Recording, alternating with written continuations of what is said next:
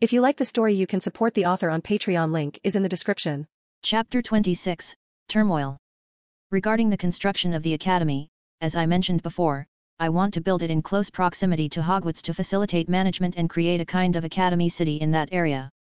As explained to you earlier, I don't want the newly built Magic Academy to become just another school of magic. No, I want to establish something akin to a university in the Muggle world. My goal is to nurture in students the desire to explore and advance magic. I believe everyone present would agree that the potential for magical development exceeds that of technology, at least at this stage. Therefore, the layout of the academy will differ from Hogwarts. It won't be merely a grand castle. No. We will organize the construction of a main building for classes and activities. However, dormitories and research centers will be built separately. Since, according to my vision, the academy should accommodate a minimum of 45,000 students and 4,000 teachers, I must seek permission from the British government for construction. But I must emphasize, the Magic Academy will be an independent institution, unaffected by any government worldwide. This is my non-negotiable condition and is not up for discussion. The professors for the first stream of students will be individuals with the highest achievements in their respective fields. I have the honor to introduce them to you today. Let's welcome Gellert Grindelwald, Professor of Combat Magic and Duels. This course will replace the defense against the dark arts. I believe it's better to learn dark magic and know how to control it than to fear and defend against it. While this name may not carry much weight for non-magicians, in the magical world, he is considered one of the three strongest wizards. Proficient in dark magic, he will also serve as the deputy director of the academy. Newt Scamander, Professor of Care of Magical Creatures. The author of numerous works on magical creatures, Hogwarts uses a textbook written by him. Firenze, instructor of astronomy and divination. Yes, he's a centaur, and as all wizards know, centaurs are excellent seers. Aberforth Dumbledore, Transfiguration Professor. Yes, he's Dumbledore, the younger brother of today's most powerful wizard. Horace Slughorn, Professor of Potion Making. One of the most renowned masters of potions in the magical world. Claudia Drongel, don't let her young age fool you, honestly, the professor of ancient runes at Hogwarts wanted her to take her place. Herbert Beery, the former herbology professor at Hogwarts, retired due to age, but thanks to magical rings strengthening his body, he decided to return to the ranks of professors. William Ronan, the grandson of Abraham Ronan and the champion of magical duels last year. He will become the charms professor at the academy. Nicholas Flamel and his wife Perenelle Flamel. I don't think they need an introduction, but still universally renowned wizard and alchemist of French origin, the only known creator of the Philosopher's Stone and the Elixir of Life, thanks to which Nicholas and his wife Perenelle have lived for over 600 years. They will be teaching alchemy to our students. And so on. For nearly an hour, renowned wizards took the stage one by one. In the end, approximately 150 wizards from all spheres of activity graced the stage. I can see doubt in your eyes. I mentioned 4,000 teachers. But, ladies and gentlemen, understand me. In the first year, only your children and relatives will be students. If we can gather even 10,000 people, that would be good. So, I believe that having around 150 teachers for now will be quite sufficient. What are your thoughts on this? In response to his question, applause erupted. People near the bar thought there was an earthquake. Naturally, not a single dissatisfied person was in the audience. Are you kidding? If everything the young man on stage said is true, then this faculty can be called the best in history. Their children will be taught by the world's finest wizards. Muggles were shocked, and even more so were the wizards working for these former Muggles. They know exactly what each name mentioned today signifies. Such an assembly is enough to overthrow the International Wizarding Federation in a matter of hours. Thank you all for the warm welcome to our faculty. I am delighted to announce that we are ready to commence the construction of the Magic Academy, Elysium starting next week. With these words, the applause only intensified. So much so that if Asmodeus hadn't used a voice enhancement spell, even the people on stage wouldn't have heard him.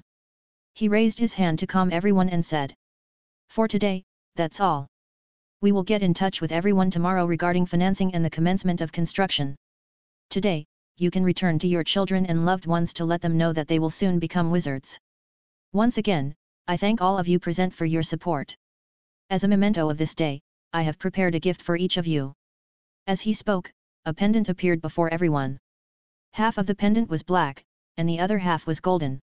The pendant took the form of angel and devil wings enclosing a blue ruby in the middle.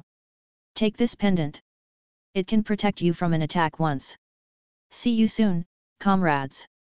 Over the next week, there were two topics of conversation in the world.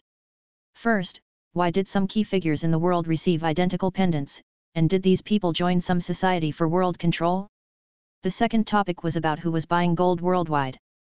The value of gold skyrocketed.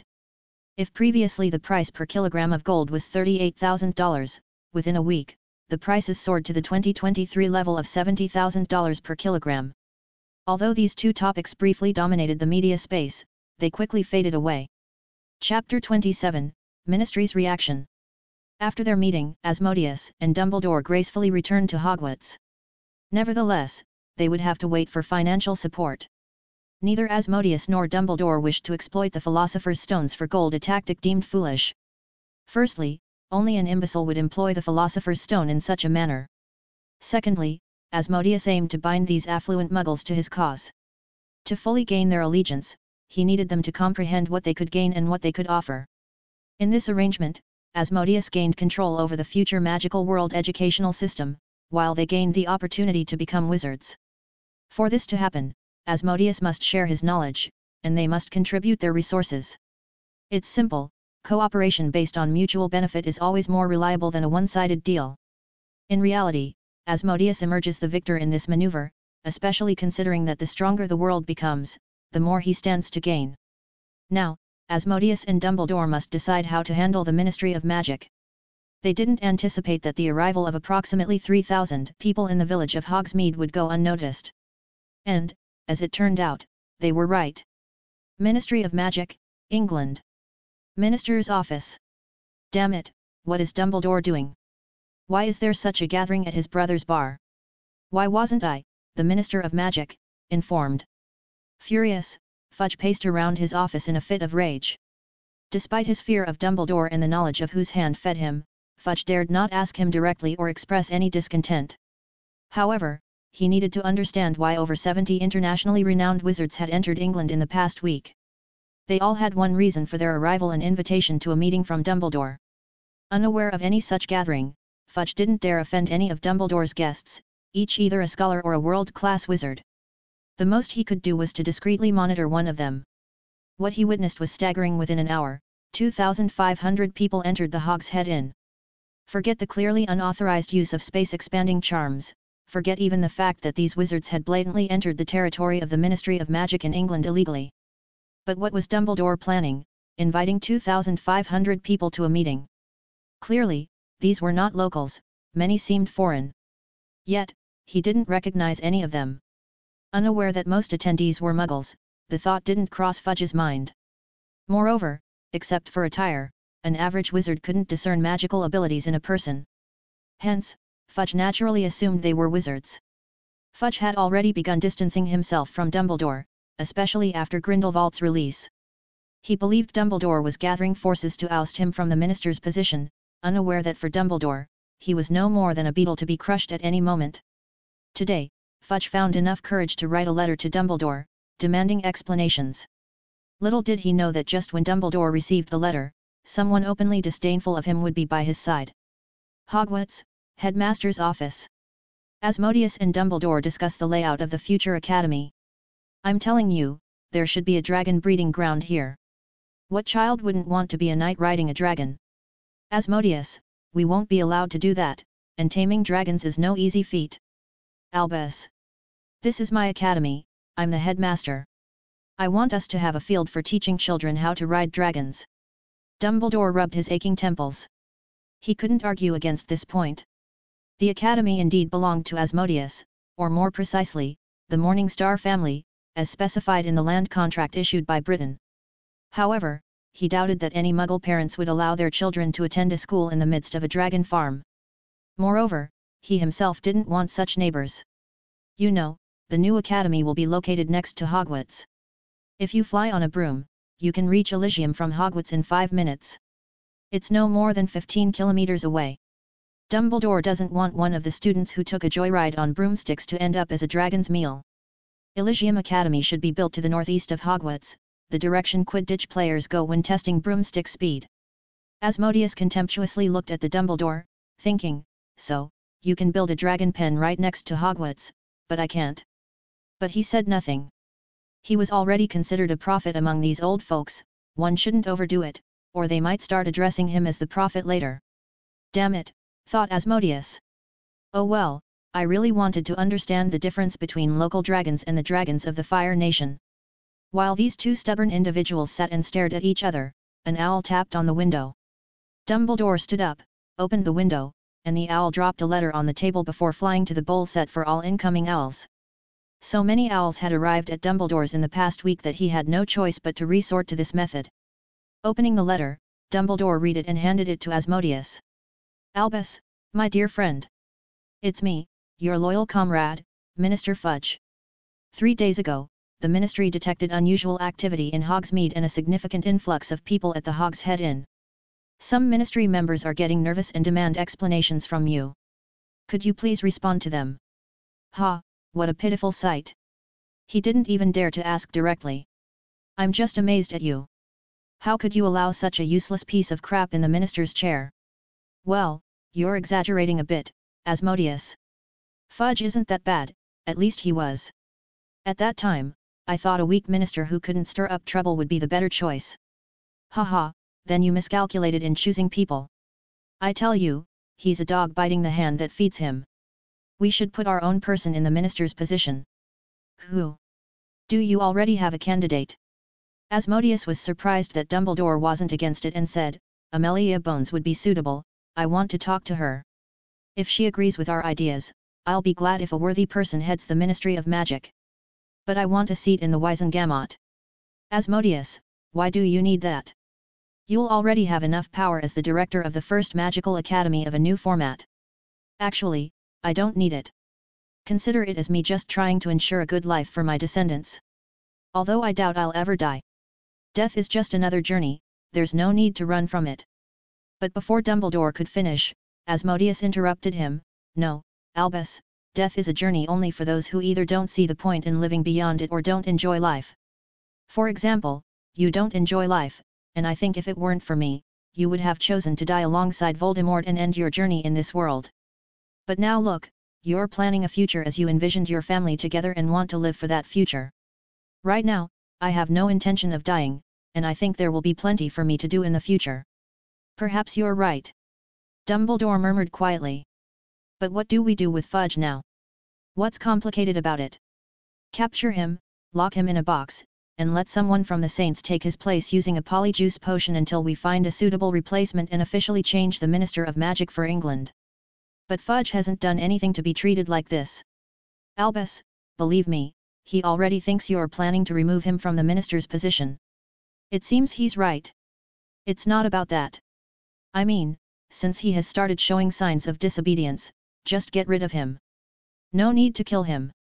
Just let him serve as an ingredient for the polyjuice potion, and then we'll erase his memories of being a minister, and he can live his life. Even if someone in the magical world recognizes him, we'll just say he had a counter-reaction from some spell, and now he doesn't remember who he is. What's the problem? Hearing Asmodeus's words, Dumbledore sighed and said, Well, all right. Shall we go to the ministry? Yes, let's go. I want to see the pink toad dwelling there. Who? Oh, just someone, it doesn't matter. Chapter 28, Minister of Magic With a gentle pop, Asmodeus and Dumbledore appeared at the Ministry of Magic. The Ministry, an eight-story structure with underground chambers, welcomes wizards daily through the atrium. Adorning the atrium is a grand magical brotherhood fountain, adorned with golden sculptures of a mage, sorceress, goblin, centaur, and house elf. Tradition dictates tossing small coins into the fountain, with these contributions going to St. Mungo's Hospital. From the atrium, one enters a small hall hosting no fewer than 20 lifts, as the ministry's expansive layout places various departments on different floors. The following are these departments in the order they divide the levels. In the hall, special fireplaces are positioned, on one side for entry and the other for exit. A duty wizard sits here, where non-ministry visitors must register, undergo inspection, and present their magical wand for scrutiny on a designated device. Each ministry employee carries an identification pass. Asmodeus and Dumbledore approached the registration desk, where Dumbledore said, Hello, Conan. Could you please issue a pass for this young man? He's invited by Fudge. Oh, Director Dumbledore, just wait a moment. I'll need to check his wand, replied Conan Greenwood. Uh, well, all right. What's this? He can't possibly be without a wand. Dumbledore exclaimed, slightly surprised. However, Asmodeus, who had returned to his 20-year-old appearance, intervened. After the last time he used the rejuvenation potion, Asmodeus went back to Hogwarts, waved his hand, and ordered 100 vials from Snape. Snape was furious, claiming he had no time for such low-level potions, but after a couple of thousand galleons, he reluctantly agreed. Uh, I think Director Dumbledore is referring to this, he said, pulling his staff slash wand from behind and placing it on the registration desk. Conan Greenwood. He looked at Asmodeus strangely, then shifted his gaze to Dumbledore with a facial expression asking, is this a joke? Ahem, Dumbledore coughed and said, well, his wand is a bit special. What the kind of wand is this? Screamed the inspector inwardly but still tried to pretend to examine and verify the wand. He described the wand's appearance and stamped the pass. Everything is ready, you are free to go.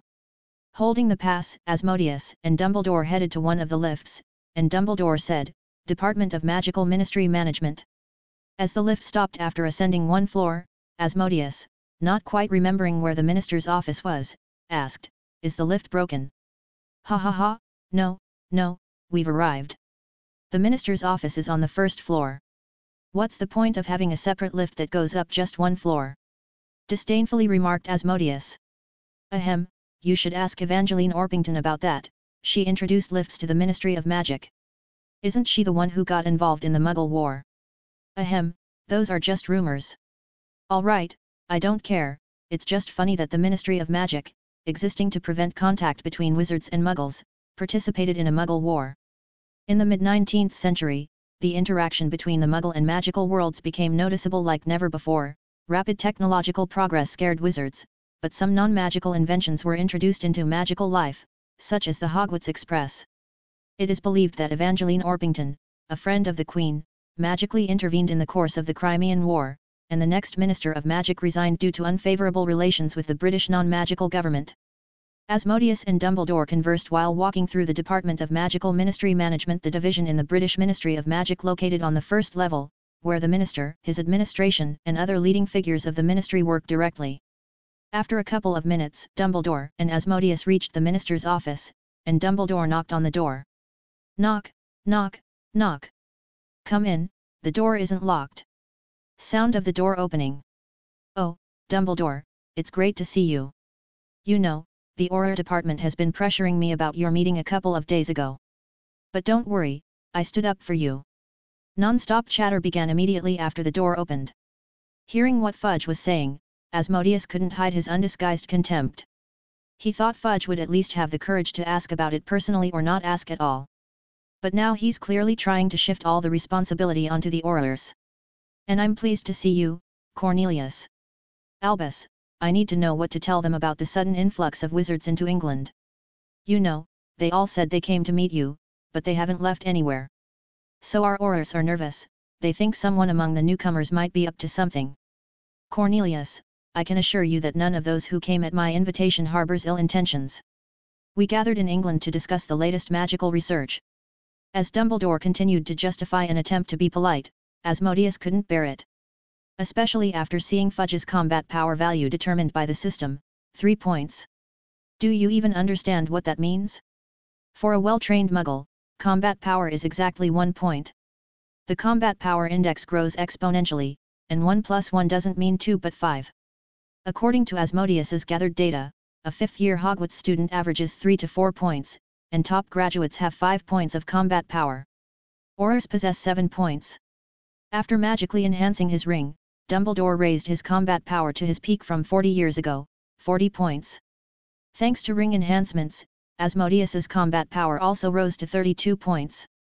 And now Dumbledore, with his strength, is trying to explain something to a bug. Having lived for 18 years in a world of law supremacy, Asmodeus also lived in a war-torn world where everything is based on your own strength for 20 years. He leans more towards the form of governance, the stronger, the more important. He can't understand why the elephant is trying to reassure the mouse scared by its steps. You might perceive this as arrogance, but Asmodeus respects those stronger than him. With Dumbledore, Grindelwald, and Nico, he can jest but never demand or demean them. It's his respect for the strong. Asmodeus doesn't believe there's no place for the weak in the world or anything radical. No, he simply thinks everyone should know their place, especially in a world where personal combat power can surpass the strength of an army. He supports anyone who, in such conditions, strives to increase their strength and treats them with respect. Fudge, however, is practically indistinguishable in strength from a muggle for him. Yet, Fudge behaves as if he were an immensely important person in front of Dumbledore. Unable to contain himself any longer, he said, Albus, why are you explaining anything to him? He literally got into this position solely thanks to your support, it's his job to run after you. Hearing these words, Fudge's face contorted. Since becoming the minister, no one dared to address him like this, and he turned around to see where the voice was coming from. Initially, he didn't notice anyone else in the office besides Dumbledore, as Dumbledore was his main focus and he didn't pay attention. But now he turned around and saw that disdainful gaze directed at him, and he asked discontentedly. This young man lacks manners, whether with Dumbledore's support or without, I am the Minister of Magic, the most important person in England. Oh, do you think so? Asmodeus said playfully, and the disdain in his eyes only intensified. Dumbledore, who is this uncultured young man? Pointing at Asmodeus with disapproval in his voice, Fudge asked. I don't think you need to know, Asmodeus said before Dumbledore could answer. It's time to wrap this up, Dumbledore. He reached into his pocket, pulling out a small suitcase with a space expansion charm cast upon it. Newt Scamander had given this suitcase to Asmodeus, hoping that if Asmodeus ever managed to enter the world of Avatar, he would bring back animals for him to study. But now, inside the suitcase, was one of Grindelwald's people, chosen to replace Fudge. Dumbledore sighed and pointed his wand at Fudge. Seeing this, Fudge paled. What are you going to do? I'm the Minister of Magic, you have no right. Help. Sorry, Cornelius, but you're no longer suitable for this position. Besides, no matter how loudly you shout, they won't hear you. Saying this, Asmodeus cast a spell that struck Fudge, causing him to lose consciousness. Seeing this, Asmodeus placed the suitcase on the floor and opened it. A middle-aged wizard emerged, saluting, and saying, I'm ready to take on the role at any moment. Excellent. Over there lies the one you'll be for the next year, Asmodeus said, pointing at Fudge. He handed three vials of polyjuice potion. You'll be receiving a new batch of polyjuice potion every week. Don't let anyone suspect that you're not Fudge. The man nodded, took out a trunk from his pocket, and placed Fudge inside. That's how, without any commotion, Dumbledore and Asmodeus replaced the Minister of Magic. Chapter 29, Squibs Returning to Hogwarts, Dumbledore offered Asmodeus a cup of tea. Asmodeus, care for some tea? No. I actually wanted to talk about another group of people. You see, by focusing on muggles, we completely forgot about squibs.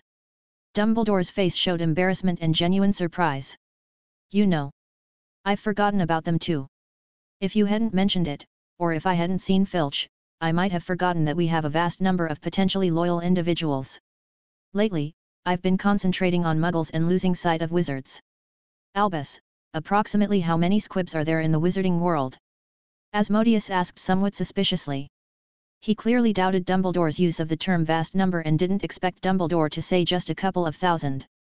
I don't know the exact number worldwide, but I have a rough idea of the number of squibs in England. Although my information may be outdated. You know what, let's find out from Squib himself.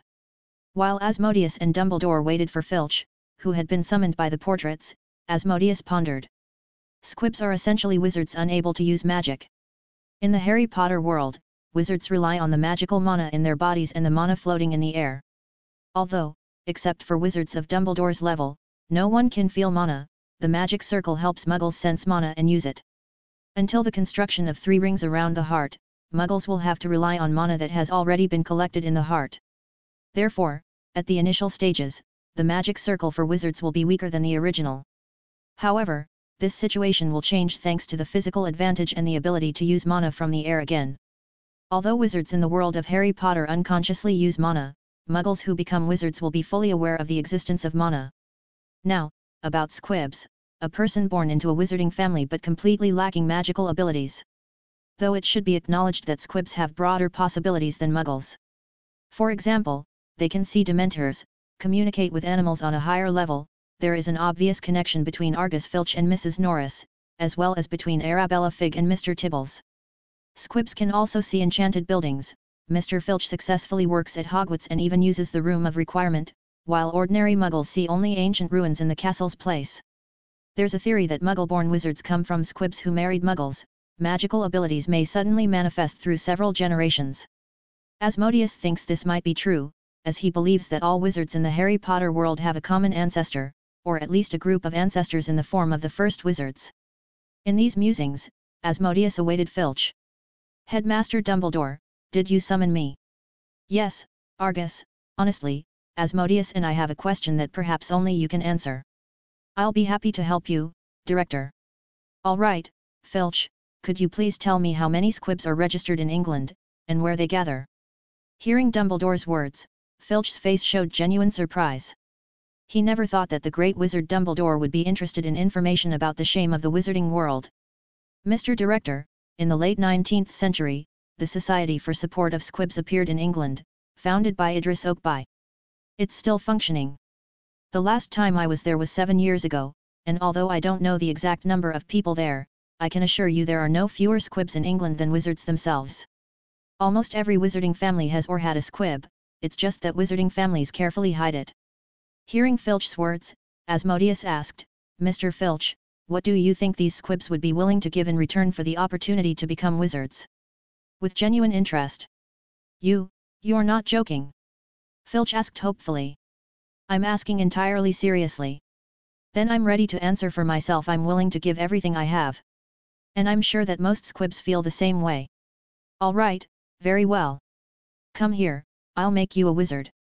Fifteen minutes later, Argus Filch sat in the chair and wept with joy. Just using Asmodeus's wand, he managed to perform the levitation spell.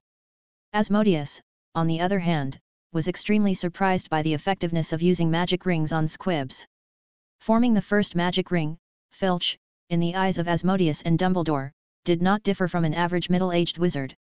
And the most astonishing thing was that even the magic ring that was supposed to remain around the heart somehow disappeared but didn't disappear without a trace.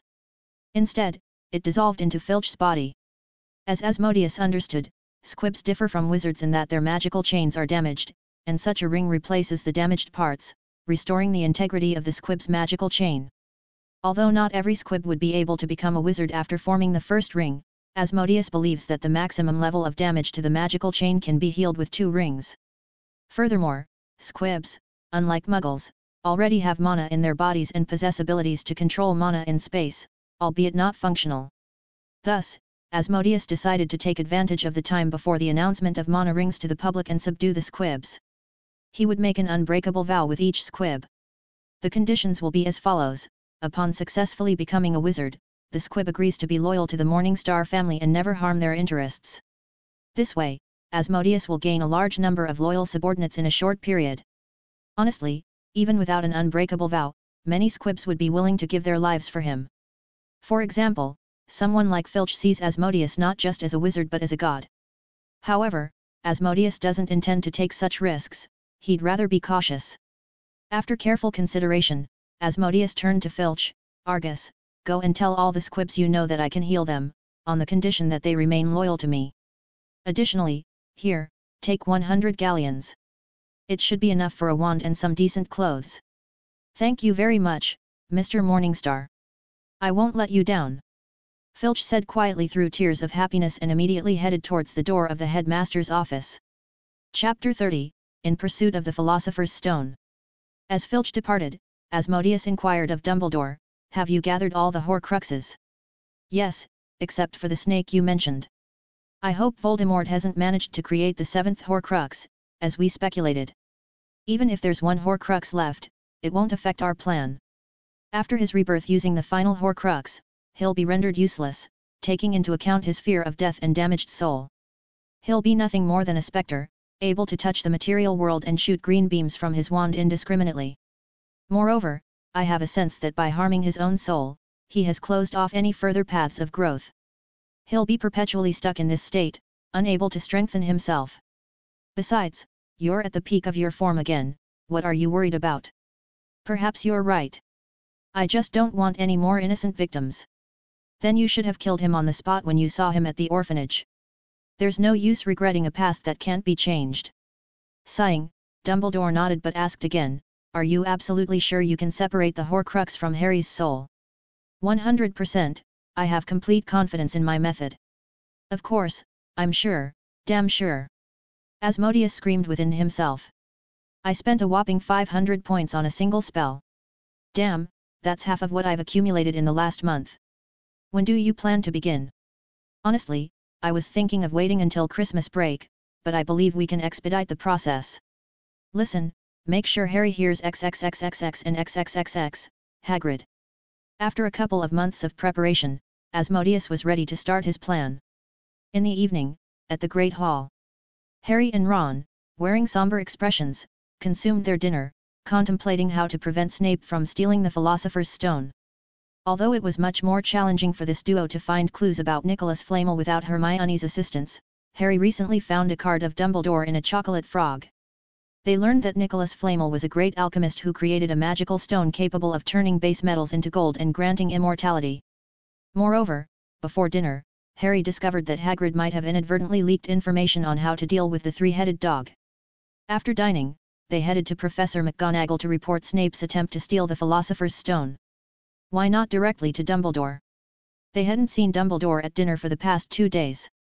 Poor kids, Asmodeus had long asked Dumbledore to leave the school and return only when he wrote. In such a state of mind, Harry failed to notice that when he placed his wand on the table while eating, it seemed to have subtly changed, either externally or internally. However, Harry couldn't sense it without comparing two wands immediately. While Harry and Ron sought Professor McGonagall, Asmodeus, with the help of alchemical devices provided by Nicholas, quietly began to monitor Quirrell. Exactly at 10. Quirrell's office. Asmodeus wore a mask concealing his breath. An invisibility cloak, not like Harry's, but a regular one with clasps on the edges, making it look like a long jacket with a hood. On his feet were mad boots, one of Nicholas's old inventions from his youth when he wanted to rob some nobleman, ahem, let's not delve into the dark history of the world's greatest alchemist. Thanks to this gear, several layers of concealment magic, and an enhanced spell of muggle repulsion, cast on him by Dumbledore but reversed to repel wizards, Asmodeus became more than just an invisible man. It felt as if he had dissolved into space, and even Voldemort wouldn't be able to find him without special preparation. Quirrell nervously prepared to leave, stuffing various potions and items into his pockets. The master told me to start right away. Relax, Snape has stopped paying attention to me lately, and Dumbledore hasn't shown up at Hogwarts for a long time. Tonight is the perfect time, Quirrell thought, comforting himself. So, Quirrell and the invisible Asmodeus quietly moved through the fourth floor corridor. They encountered no one on the way. Forget about Filch. Not even a ghost was seen. It was all the result of Asmodeus's preparation, just to ensure Quirrell or Voldemort wouldn't harm any students or castle inhabitants. However, Quirrell was both excited and oppressed. Excited about the future life if successful and oppressed by thoughts of what lay ahead. Thus, he didn't notice the strange silence around him. He created a miniature harp through transfiguration and silently unlocked the door in front of him with the unlocking charm. Quirrell pushed the wooden door open.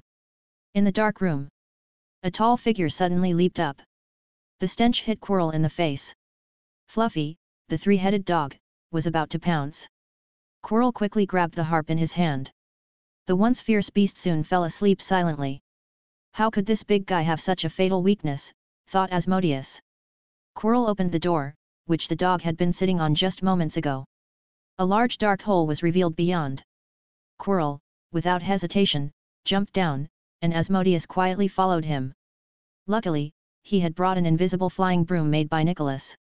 Otherwise, he would have had to either jump down head first, like Quirrell or use his own method of flight.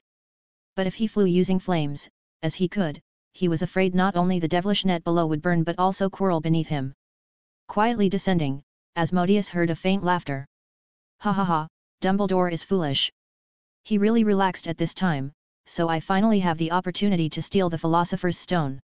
When they find out about the stone's disappearance, I'll already have returned my master to life. Soon, very soon, the master will be resurrected. I. I will also get what I want.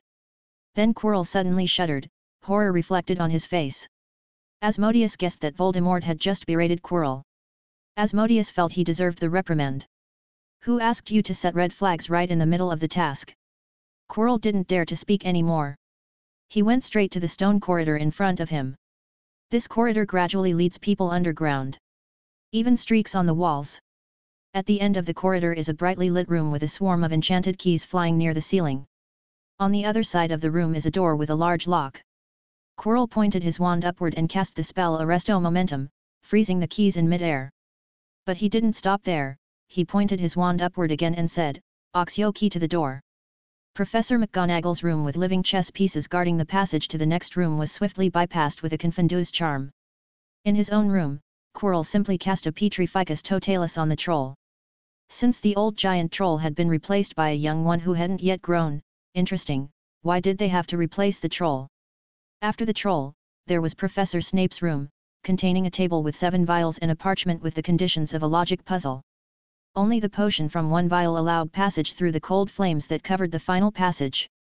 Asmodeus wondered how much time Quirrell would spend on this. After five minutes of contemplation, the poor thief couldn't decipher this second-grade level riddle.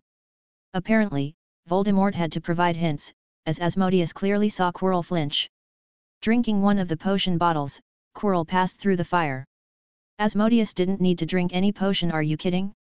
He's a fire mage, the flames simply parted softly before him, and Asmodeus controlled them so that the fire didn't look suspicious to Voldemort sitting on Quirrell's head. A burst of fire occurred, revealing a new room in front of Asmodeus. This room was circular, with a massive mirror in the center. Meanwhile, Quirrell was anxiously pacing around the mirror. It was nothing like what he had imagined. In his mind, shouldn't the Philosopher's Stone be on some pedestal or in a chest? Why was there only one mirror in the room? What about the Philosopher's Stone? Quirrell was now panicking. He sneaked in here tonight, it was, in fact, his only chance. If he couldn't find the Philosopher's Stone, even if Dumbledore didn't learn of his betrayal, his own master would torture him to death. Quirrell looked at the mirror in front of him, his face expressing bewilderment. This mirror was truly strange. He saw in the mirror that he presented the Philosopher's Stone to his master, and his master was resurrected. He rewarded him the Death Eaters around him looked at him with envy in their eyes. It was so beautiful. Just a scene in the mirror. But what about the Philosopher's Stone? At this moment, Quirrell already felt Voldemort's consciousness growing impatient. He quickly pulled out his wand and began casting various detection charms. He was sure it was Dumbledore's trick. He had to be able to crack it. Asmodeus stood aside, watching Quirrell dart around the mirror. It was the mirror of Erised, inside which Dumbledore had hidden the Philosopher's Stone. In the mirror, people could see what they desire most in their hearts. Harry saw his parents, Ron saw himself as head boy, leading the Gryffindor Quidditch team to victory. Asmodeus was curious about what he would see in the mirror but decided to leave it for later. In any case, he didn't believe that Dumbledore hadn't placed any protective charms on the mirror. Therefore, he wasn't worried that the mirror would break during the battle. Allow me to do this, useless idiot, said Voldemort, preparing to take control of Quirrell's body. Just then, a whoosh sound echoed behind them. Flames flickered. A figure emerged from the fire. Harry found himself in a large room with the mirror of Erised in the middle. In the center stood an adult. But when he turned around, it wasn't Snape but Quirrell. You? No, it can't be, that was Snape. He, he was. Haha, yes, he doesn't look like a good person but next to him, who would suspect the stuttering Professor Quirrell? Quirrell said with a smirk. But during the Quidditch match, Snape tried to kill me. Ha ha ha, oh, foolish boy. I. I was the one who wanted to kill you. And if it weren't for Snape and his counter curse, I would have succeeded. Snape tried to protect me. Strangely enough, yes. It was Snape who hindered me all this time. And that dreadful child Asmodeus, you know, Snape immediately came here when he heard about the troll and didn't fall for my trick. But because that bastard Asmodeus killed my troll so quickly, I couldn't do anything. After that, he never took his eyes off me, and I barely escaped today. But here I am, standing in front of the mirror. I see myself in the mirror holding the Philosopher's Stone. But how do I get it? After Quirrell's scream, a voice emanated from somewhere, saying, Use the boy. Come here, Potter. Right now. Harry descended the stairs to the mirror. Now tell me what you see. I, I am shaking hands with Dumbledore and winning the Academy Cup. He, is lying. Speak, Potter, what do you see? I, I'm telling the truth. Let me talk to him. But, Master, you are not strong enough right now. Do as you're told. Quirrell removed the turban. And Harry saw Voldemort's reflection in the mirror, looking at him. It was clear that Voldemort wanted to speak with the boy who turned him into what he is now, over ten years ago. At that moment, Harry was terrified by Voldemort on the back of Quirrell. He had never seen a face so dreadful. The visage was pale as chalk, and his red eyes glowed intensely. Below, two slender serpent-like nostrils were positioned. Harry Potter, Voldemort's whisper made Harry want to step back, but his feet seemed to defy control. Look at what I've become. Voldemort roared, all that remains is this soul. The ability to converse only emerges when I share a body with someone else. But, once I acquire the Philosopher's Stone and the Elixir of Life, I'll be able to recreate my own body. Well, this little trick of Dumbledore's, you must know how to solve it, don't you? Go, take out the Philosopher's Stone and give it to me. Harry recoiled. How could he honestly listen to Voldemort? Don't be a fool. Better help me. Do as you're told. Otherwise, you'll end up like your parents. Before their deaths, they begged me to spare their lives. Initially, Harry was still frightened. But upon hearing this statement, an explosion of anger suddenly ignited in his heart. Nonsense! You're lying! Harry exclaimed loudly. Hee hee, how touching! I always admired bravery. Yes, I admit your parents were very brave then. Your father died in a duel with me. And your mother? She didn't need to die. I promised a faithful servant to save her life. But, she defended you till the end. Well, hurry up and do as I say, don't let your mother die in vain. Chapter 31, Confronting Voldemort Voldemort couldn't get the Philosopher's Stone and was now very anxious. He knew if there was anyone Dumbledore would allow to take the stone, it would be Harry. So, on Voldemort's command, Quirrell hurried towards Harry. But out of nowhere, a leg appeared. Quirrell fell face first on the step next to Harry. A dreadful scream echoed, expressing the agony of his shattered face. A a a a a a, how painful! Who, where are you, bastard, come out, I'll kill you! Quirrell, trying to stand up with one hand covering his face, screamed in agony. Then applause rang out. The rhythmic claps gradually approached Harry and Quirrell until they clearly saw the source of the sound. Asmodeus! Harry exclaimed joyfully. Mr. Morningstar! Quirrell and Voldemort whispered quietly. Yes, it's me. Hello, Harry, he said, nodding gently to Harry. Quite a show you've put on, Mr. Voldemort, he said with a touch of sarcasm. Asmodeus Norrin Morningstar, I noticed you during the sorting, and how you dealt with the troll intrigued me. Achieving such results with ordinary fire, I was very surprised. Oh, thank you for your praise, Mr. Voldemort. Kid, I see potential and strength in you. If you want to join me, I'll be happy to welcome you. To join you? In your current state? Asmodeus smirked. It's temporary. Once I get the Philosopher's Stone, I'll regain my body and kill Dumbledore. Forgive me, Mr. Dark Lord, but I don't like your idea of purity. So, I'll have to interfere. How unfortunate that, in that case, you'll have to die, Voldemort said with a disappointed expression. Avada Kedavra AA. Fiend fire, Asmodeus quietly uttered. He waved his hand, and it was the first time he cast a fire spell in this world. For someone like Asmodeus, who could use fire magic without wands and incantations, uttering a spell meant he was exerting himself to the fullest. Before Asmodeus, a wall of burgundy black flames appeared. Voldemort's spell evaporated instantly as it approached the wall. You, you're not a student. Where do you get such power? Voldemort shouted loudly. Avada Kedavra Aa, Avada, Kedavra Aa, he continued casting spells at Asmodeus.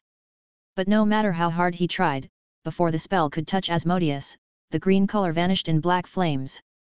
Voldemort simply couldn't believe it. Even though he was weakened and using Quirrell's body, he was much stronger than Quirrell in this state. This method of blocking his spells was inaccessible to anyone in the world. Because to suppress his spell in this way, it meant Asmodeus had more mana at his disposal. No, no, this is impossible. Even Dumbledore doesn't have so much magical power. Why can you use so much mana? Voldemort roared in rage and disbelief. To reach a level where he could compete with Dumbledore, Voldemort underwent numerous body modifications and turned into a faceless monster. But now, in front of him stood a 13-14-year-old boy who overwhelmed him in terms of pure magic power. Alright, time to finish this, Asmodeus said effortlessly, as if the battle with Voldemort hadn't drained him at all. Managing the shield of fire with his left hand, Asmodeus raised his right hand towards where Voldemort stood and said, Mr. Dark Lord, try my enhanced fire summoning spell, Incendio Diabolico. From Asmodeus's hand, a blood-red flame erupted, which literally vaporized Quirrell's body in seconds. Even one of the columns behind him melted, and it was made of stone. Harry, help me! Asmodeus shouted towards him. Use any spell you know. Harry, who already saw that there was nothing left of Quirrell and Voldemort but ashes, didn't understand why he needed to do anything. Still, he obeyed this pyromancer Ravenclaw student. Harry raised his wand and pointed it to where Quirrell used to stand. He shouted, Wingardium Leviosa. It was the only spell he knew at the moment, thanks to Professor Flitwick. What do you expect from him? Events accelerated due to Asmodeus. Instead of a year of preparation, Harry had only five months. But when Harry thought the spell he learned was useless in this situation, he realized there was something wrong with his wand. He clearly felt that the wand was extracting something from his body and collecting it at the tip. Before he could react, blue flames erupted from his wand. To his surprise, he saw a mist gathering and forming a figure in the place where he directed the fire. You can't kill me. Eh ah ah, what the hell, I'm on fire. No, no, no. After a while Voldemort's voice finally fell silent. However, Asmodeus didn't stop there. He approached Harry and said, Harry, get ready to cast that spell again. Harry nodded, realizing that something was off with Voldemort's condition, and he wouldn't simply die like that. While Harry contemplated, Asmodeus pulled out his Newt's briefcase from his pocket and spilled all the Horcruxes out. Harry, burn them. Hum, Wingardium Leviosa. Furious screams erupted from the pile of items, but they quickly subsided. Now, Harry, you'll feel a bit strange, but as soon as you can, return to your body and use this magic on him again. As Harry heard Asmodeus's words, there were only three question marks in his head. Return to his body? What the hell does that mean? However, before he could ask, he felt someone push him in the chest. Eh, a a a a, I'm a ghost. I'm dead. No, stop, wait, is that what he meant by returning to the body? But who's the second one he mentioned? He pondered, but continued his subconscious movement toward his body. Back in his body, he heard Asmodeus shout, Come on, Harry, he's right behind you. Harry turned around and saw something in between himself and Voldemort. More precisely, half of this creature's face resembled Voldemort, and the other half was like his own. Without hesitation, he shouted again, Wingardium Leviosa, and the flames consumed the last Horcrux. No, no, I can't die like this. No. Triple A. As the Horcrux which shared a body with Harry, disappeared, Harry lost consciousness. Asmodeus supported him to prevent him from hitting his head on the floor and gently laid him down. Ha, I was right, he didn't manage to make the last Horcrux, he muttered as he saw the system panel before his eyes. Ding, Task Series, Kill Voldemort. Ding, each Horcrux destroyed rewards 1000 points. When the system confirms Voldemort's complete death, a separate reward of 10,000 points will be available. Asmodeus received a reward of 7,000 points for all the Horcruxes destroyed, plus 10,000 for completing the task of killing Voldemort. Joyfully humming, Asmodeus lifted Harry with his favorite spell, as he understood, Wingardium Leviosa, and headed towards the school nurse. But as he was about to leave the room, he stopped and returned to where Harry had lain earlier. He looked around and spotted the wand lying near the steps. There you are. It would be a shame to lose you, he said, picking up the wand. You know, he, Nico, Grindelwald, and Dumbledore had worked on making this wand together for almost three weeks. It can only cast one spell and extracts mana from the user. This enhanced flame spell was developed by him and Grindelwald together. It combines the heat of Asmodeus's fire and the malleability of Grindelwald's fire, and it can also burn souls. That's why a few hours ago, Asmodeus switched Harry's wand with this one. Putting the wand in his pocket, Asmodeus took out Harry's original wand from his suitcase. He placed it in Potter's pocket and continued on his way. He decided he would look into the mirror later when he had the time. Chapter 32, Chapter 32, Beginning of Construction and Trading Center while Harry was recovering and Asmodeus spent time in the library absorbing knowledge through the system and occasionally strolling with Hermione. Dumbledore, Grindelwald, and other elders were extremely busy. Asmodeus' requirements for the future academy were too high, and they didn't even know where to start construction. Gellert, we need to start construction, you know, the academy is supposed to admit its first students in nine months, and we haven't even begun building the main castle. Go tell that to Asmodeus. Damn him, who wrote this plan? What the hell is this magical creature breeding plan? What are those magical towers around the castle? And why did he mention 45,000 students? Grindelwald responded with frustration to Dumbledore. Ahem, ahem. I really don't want to see him lately. I have a feeling he's targeting my beard, I don't know why, but I have this premonition that he wants to do something with it. And because of that, you don't want to consult with him. Alright, alright. Calm down, we really need to start construction. And I finally understood what those mage towers he was talking about are. Nicholas intervened in the conversation. Two gazes fell upon him. Ahem, ahem, mage towers, in ancient times, wizards built them for conducting research. It was like a home for powerful wizards. Each floor had a different purpose, but they haven't been built for a long time because during the witch hunts, many of such towers were destroyed, and the muggle expulsion spell didn't exist yet, so wizards gradually stopped building them. Also, with the advent of magic schools, wizards stopped living ascetically and gradually began forming villages. The towers were used so long ago that even I didn't know about them until I found it in an ancient magical book from the times of Merlin. Why does he need it in the school? I don't know. Our task is to build a tower, I've already contacted Asmodeus, and he said he'll enchant and improve them himself later. Alright then. So, shall we start with the main castle? Yes, it's time to begin construction. Will the main entrance be in the southeast? Yes, Asmodeus said he doesn't care, if it makes it easier for wizards, we can arrange the castle however we want. Then in the southeast, there's a cliff to the north, and to climb from that side, we'll need to build stairs. So, it's better to place the entrance facing that lowland. Ah, so much work, why are we working while he's relaxing at Hogwarts? Ah, three consecutive sighs echoed.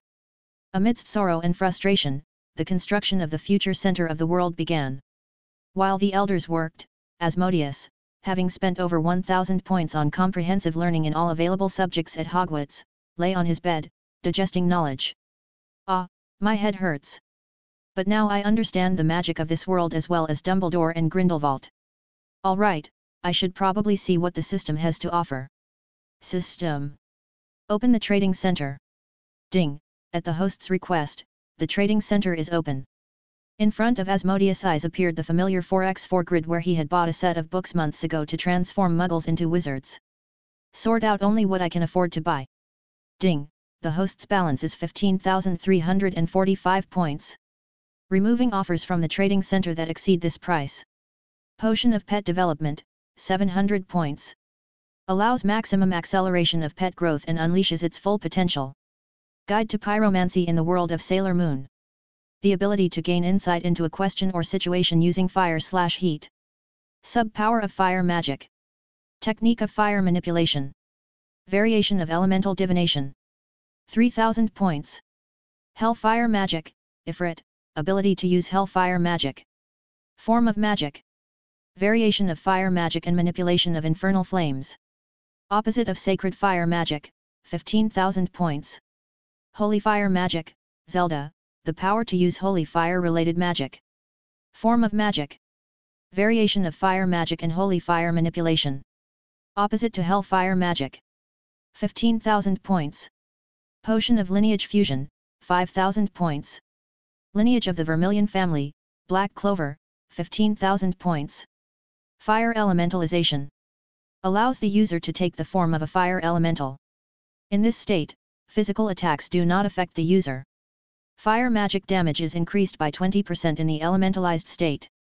Fire magic consumes 15% less mana. Control over flames is increased by 50%, 5500 points. Note, minimum requirement for elementalization is 1000 points of mana for the owner, mana is not consumed all at once but gradually until the host returns to normal state. Current mana reserve of the host, 1250, meets the requirements. Small potion of permanent mana increase by 100 points, price, 1000 points. One person can take only 3 potions per year, developing resistance to the potion after 9 bottles. Small potion of physique reinforcement, increases all basic body characteristics by 5 points, price, 1000 points. One person can take only 3 potions per year, developing resistance to the potion after 9 bottles. One level world enhancement, 10,000 points. Raises the world level once. Improvement in all aspects, the amount of mana in the air, its quality, the physical preparation of average beings in the world, magical creatures becoming stronger and etc. Angel's Tear Potion, brings the deceased back to life if no more than a year has passed, 5000 points. World level increase, by half a level. Price 5000 points. With the constant flickering of products in front of his eyes, Asmodeus feared an epileptic seizure. However, he had already chosen the items he wanted to buy. By flame elementalization, small potion of permanent mana increase x3, and small potion of physique reinforcement x1. Ding, confirming the operation, deducted 9000 points. Current balance, 6345 points. Thank you for your purchase. With the sound of the system, Asmodeus felt that something in his body began to change. Before he could do anything, he lost consciousness. After a couple of hours, Asmodeus woke up and attempted to stand up from the floor. Ugh, my head is splitting, damn it, my whole body is convulsing. Hiss, maybe I shouldn't have, ah, I'm falling, or not falling. As Asmodeus tried to get back on his feet, he slipped, but before he could fall, he involuntarily transformed into an elemental. Convenient. Chapter 33, Chapter 33, Universal Enhancements. Experiencing the skill Flame Elementalization, Asmodeus noticed four small bottles lying before him. Three potions for a constant increase in mana and one elixir for enhancing his physic. Without much hesitation, Asmodeus took the small body strengthening potion in his hands, drank it, and sat on the bed in his room, awaiting the effects. The wait wasn't long, after a couple of minutes, Asmodeus felt as if the blood in his veins began to simmer. Yet, it wasn't an unpleasant sensation, rather, it was akin to sitting in a luxurious Finnish sauna while someone stoked the heat. After 15 minutes, the sensation subsided, and Asmodeus realized that the process of fortifying his physique had concluded. Before checking his stats in the system and examining his body, he decided to take a shower. The stench was unpleasant, and impurities accumulated over years of life, reminiscent of Chinese novels from his past existence, washed away with his sweat. Returning from the shower, Asmodeus inspected his body. While he had always stood out for his height at his age, now, if not for his youthful face, he could easily be mistaken for a beach bodybuilding class competitor. Every muscle line was sharply defined, and fat on his body was almost non-existent. He reverted to the physique he had before entering this world, but now, this body was only 14 years old, indicating that the potential for natural growth was not yet exhausted. To be honest, his current appearance resembles that of a 16-year-old athlete. His face has matured, though not as significantly as his body. Moreover, it hasn't aged, it has grown, turning him into a young man rather than a tall child. Although explaining such a transformation to Hermione and the elders might be challenging, he'll simply mention experimenting with a potion for physical enhancement that went awry. Alright, that's done. Looks like it's time for you, he said, eyeing the mana bottles. Athena. My master has gone mad, talking to bottles. Ignoring Athena's puzzled look, he took all three bottles and consumed them in one go. Oddly, the familiar warmth didn't follow as before. Instead, he felt as if a spring breeze was gently blowing over him.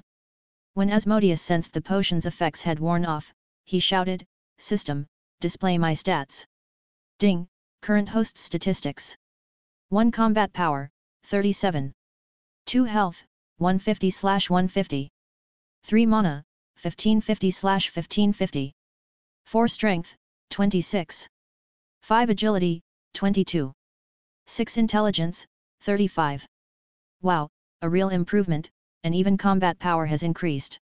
1550 mana is sufficient for full-fledged combat in elemental state and provides a reserve for magic usage, Asmodeus muttered.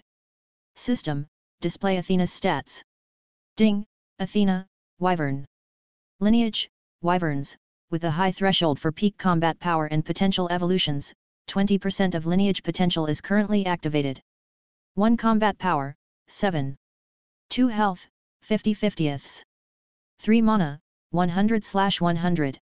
4 strength, 11. 5 agility, 25. 6 intelligence, 7. You've become stronger without doing anything, he said with a smile, patting the now larger Athena.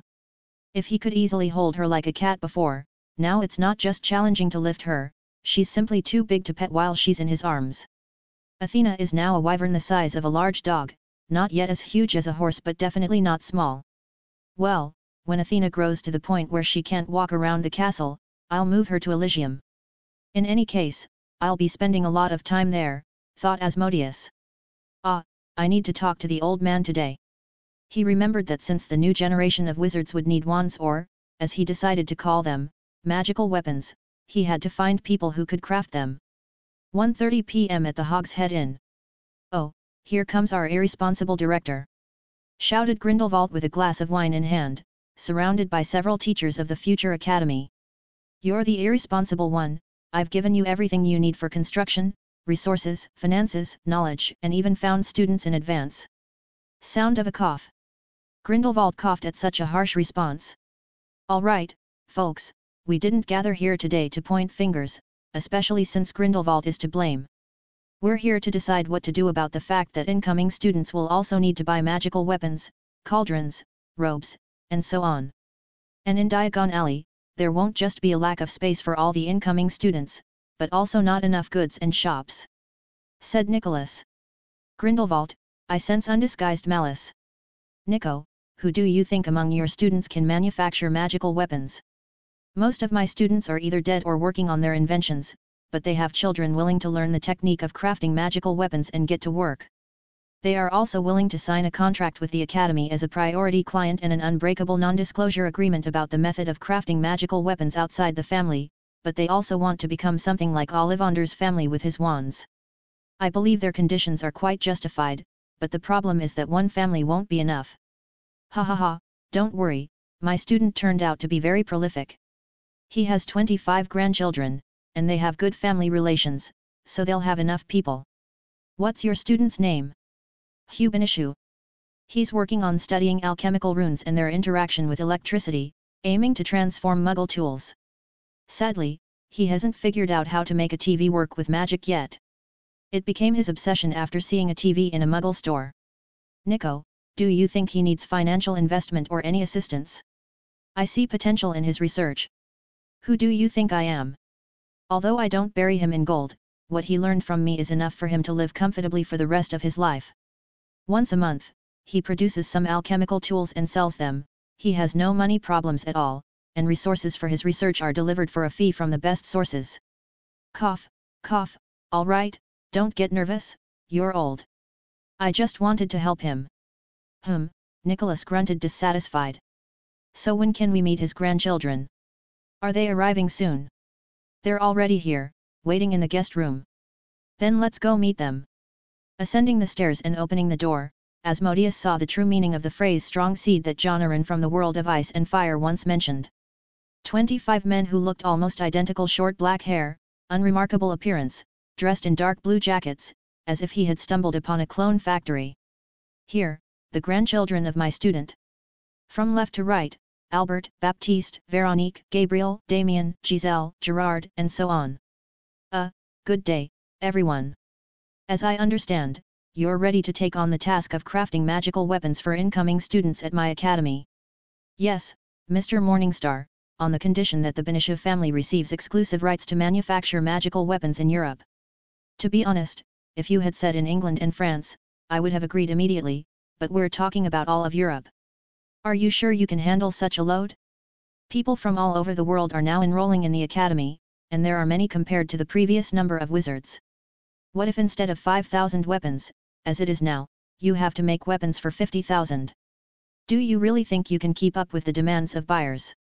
Upon hearing Asmodeus's words, they all slumped a bit. They hadn't thought about the possibility of not being able to cope with future demand, they were merely trying to grab as big a piece as possible. Seeing this, Asmodeus continued, Let's do this, I'll grant your family exclusive rights to open an alchemical forge right at the academy, and I'll give you the best spot on the trading street near the academy. You can also advertise your alchemical forge as approved by Elysium Academy. Also, your family will sign a contract for the out-of-turn production of weapons for Morningstar family members three weapons per year. Don't forget, I'm providing you with the complete method of manufacturing magical weapons. After that, you'll have to research and improve your knowledge and methodology of production. And I don't commit to not disclosing the basic technique of making magical weapons. I'm giving it to you first, the rest depends on your efforts. Well, are you in agreement? We agree, but on the condition that the Morningstar family or the Academy prepare a contract similar to Hogwarts with Ollivander. That is, weapons will be sold to people from low-income families at the Academy's expense. All right, so be it. Deal. Asmodeus shook hands with each member of the Benisha family. You can approach Grindelwald to get a place for opening the forge in the Academy, I'll inform him. As for the branch on the new trading street, we'll discuss it in a month when it's finished. Okay. The 25 men said in unison. Asmodeus thought his ears might start bleeding. Well then, when should we make an unbreakable vow? Yes. Mr. Flamel will be the witness. So, half an hour later, Asmodeus returned downstairs to Grindelwald, and the Benisha family headed back to France to inform the elders of their actions. They would return to England in a couple of days and begin mass-producing magical weapons for incoming students. Spears, swords, staffs, axes, and so on. Chapter 34, Chapter 34, Problems and their Solutions. Alright, for the time being, the issue with magical weapons is resolved. How are things progressing with the construction of the Elysium Academy? Inquired Asmodeus Grindelwald as he descended the stairs. The construction of the Academy is proceeding according to plan. In approximately three months, by the end of March, the exterior will be completed. The next steps involve designers and interior arrangements, replied Grindelwald. That's good. What about the new trading street? Asmodeus asked, noticing the darkened expressions on Gellert and the others. What's wrong? Any issues during construction? Asmodeus questioned, observing the visibly incorrect expressions on the elders' faces. Construction is proceeding smoothly, but, those shop owners in the Diagon Alley refuse to open branches with us. They claim there aren't enough wizards in England to attract visitors, explained Grindelwald. Hmm. Have you mentioned squibs to them? Asmodeus suggested. Yes, but they don't believe it. They won't believe there's a method for squibs to become wizards until someone officially announces it. As for muggles, we haven't disclosed that yet, admitted Grindelwald. Alright, then let's announce through official channels that I've found a solution for squibs. A new magic academy will be built for them, along with a trading street adjacent to the academy. Declared Asmodeus. Are you sure? I thought you wanted to quietly subjugate all squibs. Questioned Grindelwald. In fact, those Filch brought me are already sufficient. I currently have 10,000 subordinates, former squibs, and I have no intention of handing over magical circle technology just like that. At least not until the Academy admits all elite muggles and they become full-fledged wizards. I plan to announce through the Daily Prophet that I am ready to heal all squibs willing to sign a contract with the Morningstar family. They commit not to oppose the Morningstar family in any form. Sounds good to me, I'm all for it. Alright, when can you make the announcement on behalf of the Minister of Magic? Tomorrow. Let the old man rest today, you know, lately, I've been constantly checking if everything is going according to plan during construction. Alright. As Asmodeus said this, it seemed he remembered something and told Nicholas, who was descending the stairs, Nico, here, take this. Engrave these runes so that the castle and the surrounding area are always neither too hot nor too cold, he tossed the book to Nicholas. Basic Runes for Improving Living Conditions a book he bought a long time ago for 100 points. It contains special runes for enhancing comfort in the house and several runes for reinforcing the building itself. For example, the cooling rune can be used as an air conditioner if inscribed on the castle wall. In conjunction with the warmth rune, they can create a constant temperature of 25 degrees in the building. The book contains many such useful but non-combat applications of various runes. Wow, Asmodeus, this is excellent. I was thinking of using my alchemical knowledge for this, but with these runes, everything will be much easier. You're always welcome, Asmodeus nodded. By the way, Grindelwald, you can take this book from Nico and build a couple of high-class hotels on the trading street. I think there will be many visitors willing to pay extra for better living conditions. Moreover, Muggle elites will surely want to occasionally meet with their children there. You can register the hotels in your name, in any case, the entire street belongs to me. Oh, and regarding those who want to open branches with us after the Ministry of Magic announcement, suggest either renting the buildings we've constructed or inform them that building new structures is possible on the outskirts. Try to keep the shops in the center for our needs. Grindelwald nodded and said nothing. It didn't matter to him anymore, he was pleased that his goal was nearing completion, and he would assist Asmodeus in any way he could. Having said all he wanted to this group of people, Asmodeus headed towards where Newt Scamander and magi zoologists were sitting. Newt, hello. How's the selection of animals I mentioned going? Oh, hello Asmodeus, I didn't notice you. What you asked for is not impossible, but still not that simple, gathering different magical creature species below level 4 and creating habitats for them within the castle. I still don't understand why we're doing this. To allow Muggle students from different countries to interact with magical creatures from their regions and promote the protection of these beings. You know, according to our research with Bathilda Babbling, the more wizards in the world and the more people know about magic and believe in it, the higher the magical density in space. Over time, the amount of mana in the world will only increase, and magical creatures will become more abundant, gradually becoming stronger. We need to train new wizards to interact with them in advance and not push them away. I know, I know. I just think it's better for animals to live in their natural environment. I completely agree with you, but we'll have to do this. I want to teach students to live in harmony with magical creatures and instill in them a love for nature. And for that, they need constant contact with friendly animals. Alright, alright. I'll do it, but I'll need a lot of funds. Ha ha ha, tell Nico to lend you the Philosopher's Stone if the money from the Muggles isn't enough. Anyway, he has boxes filled with those philosophical stones. I'm sure he'd be happy to lend you some. Newt Scamander nodded. Having finished all his business, Asmodeus headed towards Dumbledore's table. Albus, tomorrow Grindelwald's people, in the form of Fudge, will make a statement that I'm ready to cure squibs. You'll have to handle the pressure from the International Confederation of Wizards. Yes, I've already heard about it. Don't worry, I'm no longer the coward you could push around. I've broken out of the cage I trapped myself in after Fudge's ousting. Chapter 35, Chapter 35, Shock in the Magical World. The next morning, the Ministry of Magic made a startling announcement. Squibs can become wizards. Worldwide newspapers.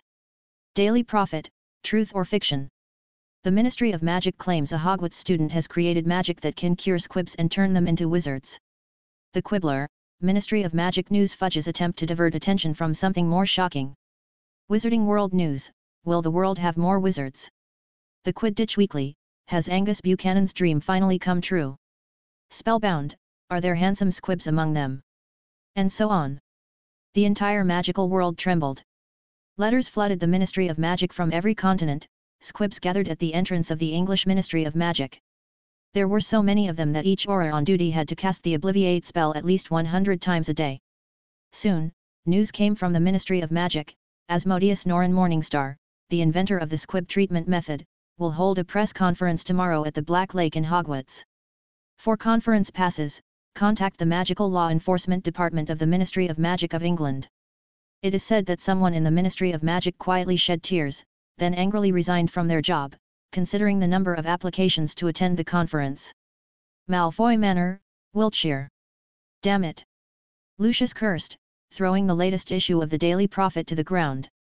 He nervously paced not because squibs could become wizards, in fact, it benefited him, as the Malfoy family also had squibs. His unease stemmed from Dumbledore not bothering to coordinate this conference with the Board of Governors, of which he was now the chairman. Previously, any event held at the castle required Dumbledore to inform the Board of Governors. However, this time, Dumbledore practically ignored them. You see, though Death Eaters fear Dumbledore, they fear not the Dumbledore who is the headmaster, but the one who fought against Voldemort. After the Dark Lord's fall, Dumbledore restrained himself and followed the rules set by the Ministry of Magic and the same Board of Governors. But lately, Dumbledore had clearly changed, he started meddling in ministry affairs and actively participated in Wizengamot sessions. This scared the former Death Eaters. This attitude towards the Board of Governors made Malfoy realize that Dumbledore had altered his methods, and it remained uncertain whether he could be manipulated through pure blood influence within the Ministry of Magic. I should check this myself. Lucius muttered, wrote a letter, handed it to his owl, and, donning his coat, apparat to Hogwarts. After some time, a group of pure-blood wizards arrived at Dumbledore's office. The Hogwarts governors, led by Lucius Malfoy, collectively prepared to protest Dumbledore's behavior, allowing Asmodeus to hold a conference at Hogwarts without their permission. They should restrain Dumbledore before he starts ignoring the laws of the Ministry of Magic. What if he begins pursuing them outside the Ministry's jurisdiction? That's something they cannot tolerate. After Lucius Malfoy and others entered the headmaster's office, they were stunned to see Grindelwald there. However, they paid little attention, knowing that Grindelwald was free because of Dumbledore's guardianship. Ignoring Grindelwald, Lucius directly questioned Dumbledore behind the director's desk. Dumbledore. I think you owe us an explanation. Lucius Malfoy spoke first. Dumbledore looked at the threatening pure-blood members of the family, smiled, and said, What happened? Upon hearing Dumbledore's words, Lucius smirked, Enough joking, Dumbledore, we appointed you as the director. We have no objections to the conference, but you ignored the Board of Governors. If you can't give us a satisfactory answer, we might impose a ban on inappropriate activities at Hogwarts. Dumbledore remained silent, sitting and smiling. However, Grindelwald took the wand lying on the table and slammed it against the floor. Having lost his previous wand to his old lover, Grindelwald decided to align himself with the new wizards and ordered a coal-black combat staff made of obsidian, with dark blue crystals embedded at the staff's tip. The faint blue fiend fire enveloped the principal's office. Grindelwald provocatively stated, Oh? What explanation do you need from us? His magic instilled fear in everyone from the pure-blood family, as he unleashed the advanced fierce fire curse without an incantation. Lucius and the others turned pale instantly. Feeling the heat of fiend fire, Goyle asked tremblingly, Dumbledore. Grindelwald. What do you think you are doing? Grindelwald, mocking, looked at the terrified Lucius and said, Are you still wizards? Grab your wands. If you can win, Dumbledore and I will listen to you. Lucius and the others were even more frightened. What kind of twisted joke was this? Engage in a duel with Dumbledore? Their masters dared not, especially considering Grindelwald was on par with Dumbledore in power. Just when Lucius and others were at a loss, Dumbledore stood up and patted Grindelwald on the shoulder. Grindelwald understood Dumbledore's signal and waved his staff to extinguish fiend fire. Lucius and the others breathed a sigh of relief, thinking that Dumbledore was still the restrained old man. However, Dumbledore's sharp gaze halted Lucius as he declared, Grindelwald means what I mean. Times are different now. Either raise your wands or get the hell out of Hogwarts. Dumbledore, no longer bound by worries of longevity, thanks to magical rings, confidently asserted he could live at least another 35 years, even without the elixir of life. Voldemort was dead, and a prophecy revealed resolution to all his regrets. The prophecy shown by Grindelwald about Asmodeus was something Dumbledore couldn't stop, giving him no reason to restrain himself. The Board of Governors turned pale, realizing the lion was no longer in the cage. Despite their unwillingness, Lucius and the others had no choice but to leave Hogwarts in despair. Dumbledore has lost his restraint. Lucius exclaimed angrily at home. Narcissa tried to calm him down, saying, Lucius, calm down first. After recounting the events at Hogwarts, Lucius calmed down a bit. Narcissa, concerned for their son Draco, asked about his safety. Dumbledore won't harm students, and Hogwarts is the safest place for Draco in the current situation. He'll be fine, Lucius reassured. Narcissa sighed in relief, but the worry about their future lingered. With Voldemort gone, they were no longer protected. The recent disappearance of Lucius's dark mark indicated Voldemort's fall. While this seemed like good news, Dumbledore might now turn his attention towards them. Lucius was uncertain about what awaited him in the future. In reality, until the pure-blood family opposes Asmodeus when he decides to announce about Muggles, both Asmodeus and Dumbledore will remain indifferent to them. Asmodeus doesn't believe the Malfoys will object to his actions, especially considering the family's past closeness with Muggles. The surname Malfoy originates from Old French, meaning treachery. Like many other forebears of noble English families, the wizard Armand Malfoy arrived in Britain with William the Conqueror during the Norman invasion. Providing magical services to William I, who became the King of England, Malfoy acquired the best parcel of land in Wiltshire, seized from local landlords, where his descendants have lived to this day. Their cunning ancestor, Armand, embodied many qualities that distinguish the Malfoy family to this day. Malfoys have always had a reputation, hinted at by their not-so-flattering name, as unscrupulous individuals seeking seductive power and wealth wherever they could find it. Despite their passion for pure-blood status and firm belief in wizarding superiority, the Malfoys did not hesitate to flatter and curry favor with muggles when necessary. Consequently, they became one of the wealthiest wizarding families in Britain. Rumors suggest that over the centuries, the family successfully dealt with Muggle currency and assets. Expanding their land holdings in Wiltshire, annexing the lands of Muggle neighbours, and ingratiating themselves with royal authority, they added Muggle treasures and artworks to their ever-expanding collection. Historically, the Malfoys maintained a sharp distinction between poor Muggles and those with wealth and power. Before the introduction of the Statute of Secrecy in 1692, the Malfoy family mingled in noble Muggle circles. They opposed this law, fearing a loss of their pleasant societal sphere. While subsequent generations vehemently deny this fact, some magical historians claim that the first Lucius Malfoy was a suitor to Queen Elizabeth I, although his attempts at marriage were unsuccessful.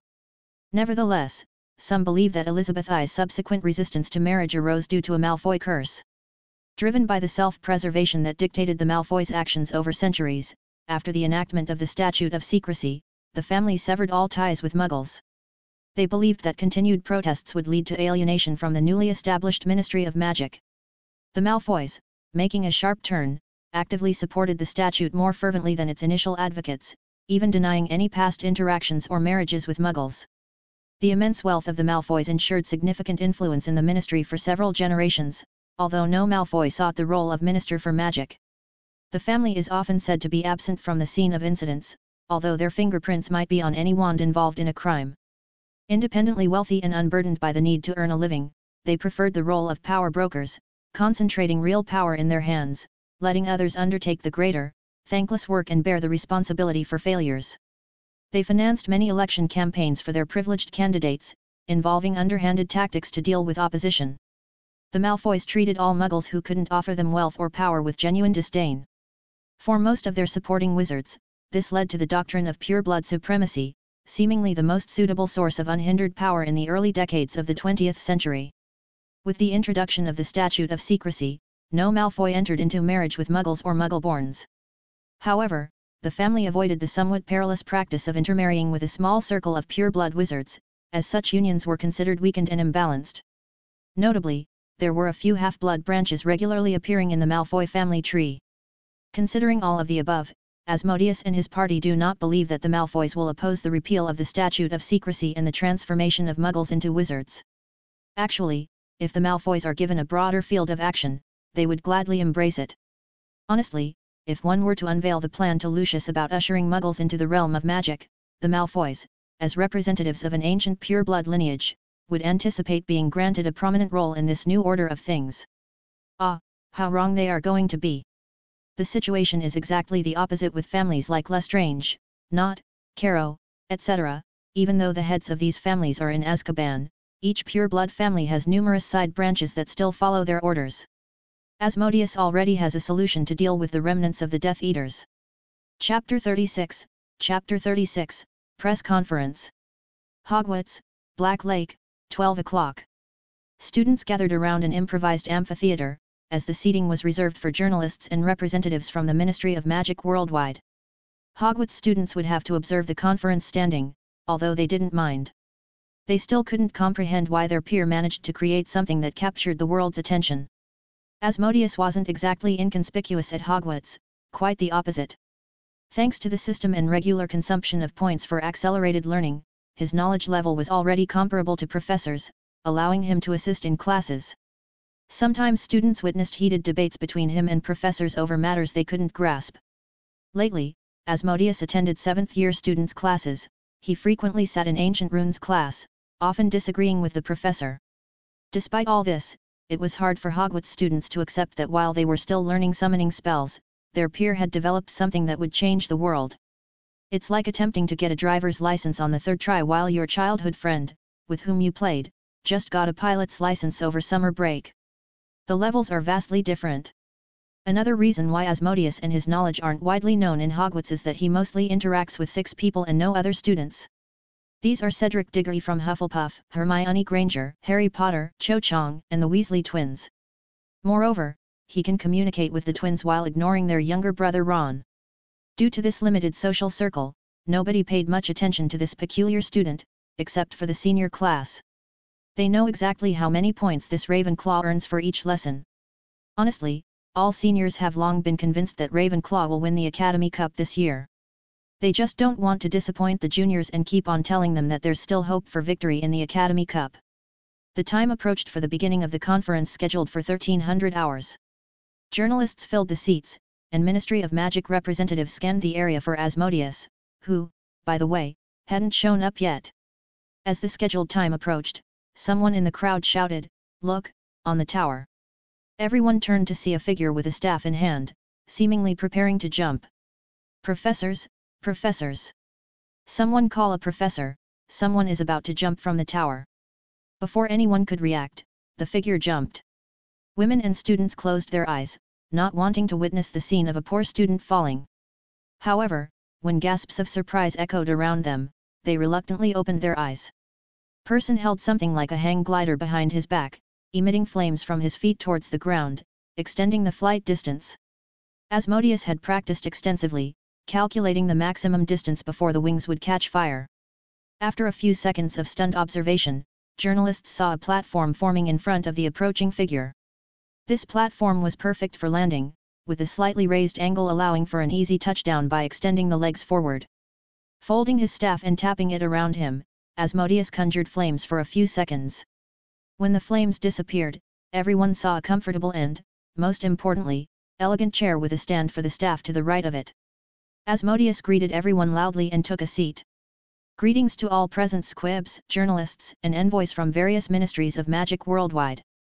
Allow me to introduce myself, I am Asmodeus Norin Morningstar, creator of the so-called method of building magical rings, or, in other words, the savior of squibs.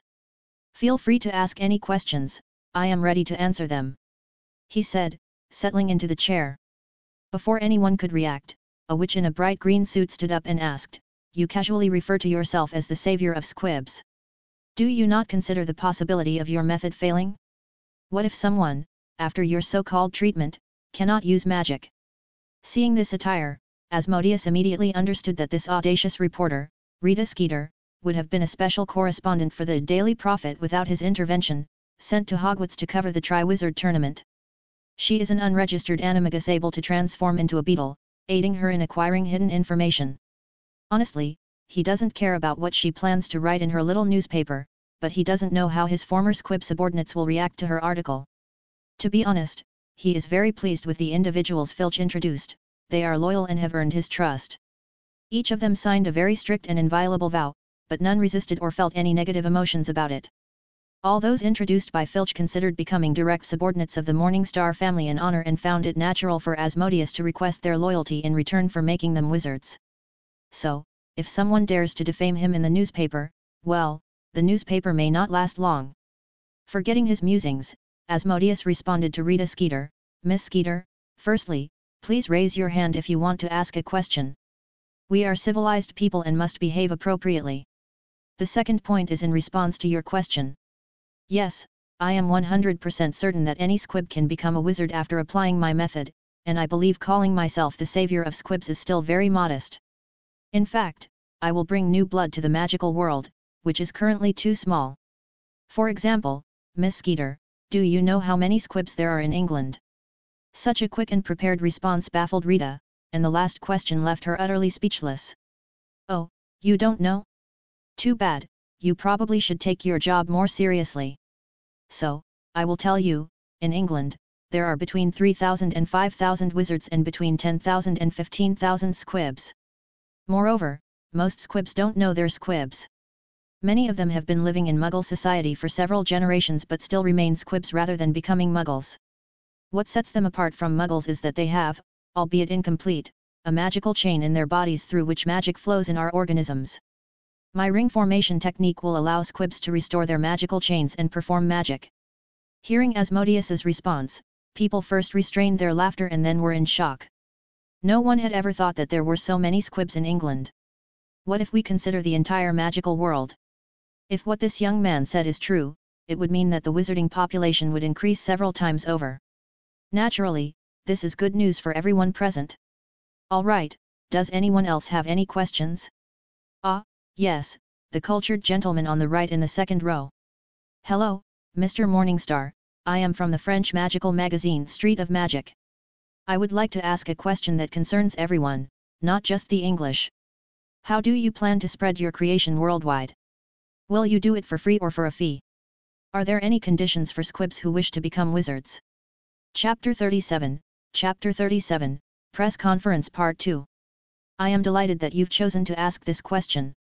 Firstly, I've reached an agreement with the Ministry of Magic in England, allowing squibs from around the world to come to the Ministry of Magic in England, where I will welcome them. Over the next month, I will personally assist squibs in becoming wizards, and in the future, those squibs whom I've already cured will take on this responsibility. Secondly, yes, of course, this service will not be free. I request squibs to sign a magical contract in which they agree not to oppose me and my family in the future. But Mr. Morningstar, do you not find your demand somewhat threatening, as if you are planning something that might provoke opposition from the magical community? No, no, no. Actually, I am making these efforts solely to facilitate the progress of my future research and improve the lives of future generations of the Morningstar family, he said, winking at the Frenchwoman to the right of the journalist, who held a camera in her hands. His words caused many women to blush. Who wouldn't want their man to plan the future of their family in advance? Any other questions? Yes, you, the beauty in the third row on the left. Good afternoon, Mr. Morningstar. I represent the magazine Noticias Mysticas from Spain. You mentioned that after a month, squibs who have long become wizards will continue to help remaining squibs in your place. I'm curious about how long you've been researching your magical rings. As far as my information goes, you're only 14 years old and you've been at Hogwarts for just one year as a transfer student. Excellent question. I began studying the squib issue from the moment I entered Hogwarts. I saw that the magical world was too small, and I wanted to expand it. I viewed a group of squibs as the perfect focus for my research. As for my age, I believe geniuses sometimes emerge, as Asmodeus said with a slight smile on his face. Upon hearing such a response, the entire hall applauded, except for Rita Skeeter, whose quill scribbled, extremely arrogant, audacious, and self-absorbed Mr. Morningstar. Too bad she doesn't know what awaits her upon returning home. Amidst the constant scribbling and chatter, the conference concluded after six hours. In the history of the New World, this conference would be remembered as a turning point, marking the beginning of visible changes in the world. Returning home, Rita Skeeter was furious, she hadn't been ignored and ridiculed like this in a long time. She decided to write an article that would spark widespread outrage. As she laid her notebook and quill on the table and began undressing, she was interrupted by a knock on the door. I'm coming. The sound of the door opening. Miss Skeeter, you are accused of illegal use and abuse of animagus. You will have to come with us for questioning. I, me, I, no, this is a mistake, how could I be an animagus? But no one listened.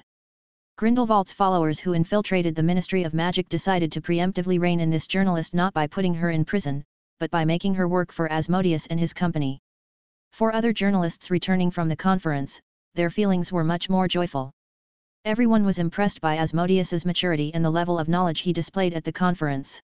The next morning, various Magical World publications released news with massive circulation. Wizarding World News, Genius Student to Cure Squibs. The wizard population will increase. What a wizard, I want to expand the magical world, quote from the Hogwarts student who cured squibs. Daily Prophet, Hogwarts student changed the world. Review of magical education in Europe, it seems Hogwarts will soon reclaim its leadership position among wizarding schools. Noticias Mysticas, important news, no more fireworks. Magical street talk, charming student who changed the world. The Quibbler, the phrase expand the magical world sounds like Grindelwald's slogan, perhaps there's a conspiracy behind turning squibs into wizards. And so on. Now officially confirming the news, squibs from around the world, not just England as before, headed to the Ministry of Magic in England. Thanks to the Floo network opened by various ministries of magic to directly contact the English Ministry of Magic, the magical world in England now had more people than the entire Eurasian continent. Over the next month, Asmodeus established himself in the ministry. He was assigned an office next to the Minister of Magic's office. In addition to the ceaseless thank you letters from squibs, Asmodeus now had to deal with letters from various fans and business owners. For example, Good morning, Mr. Morningstar, I'm Stanley Shunpike, conductor of the night business. We thank you on behalf of the entire Knight Bus team, thanks to you, the bus is now packed every day, and we have the means to build a second bus.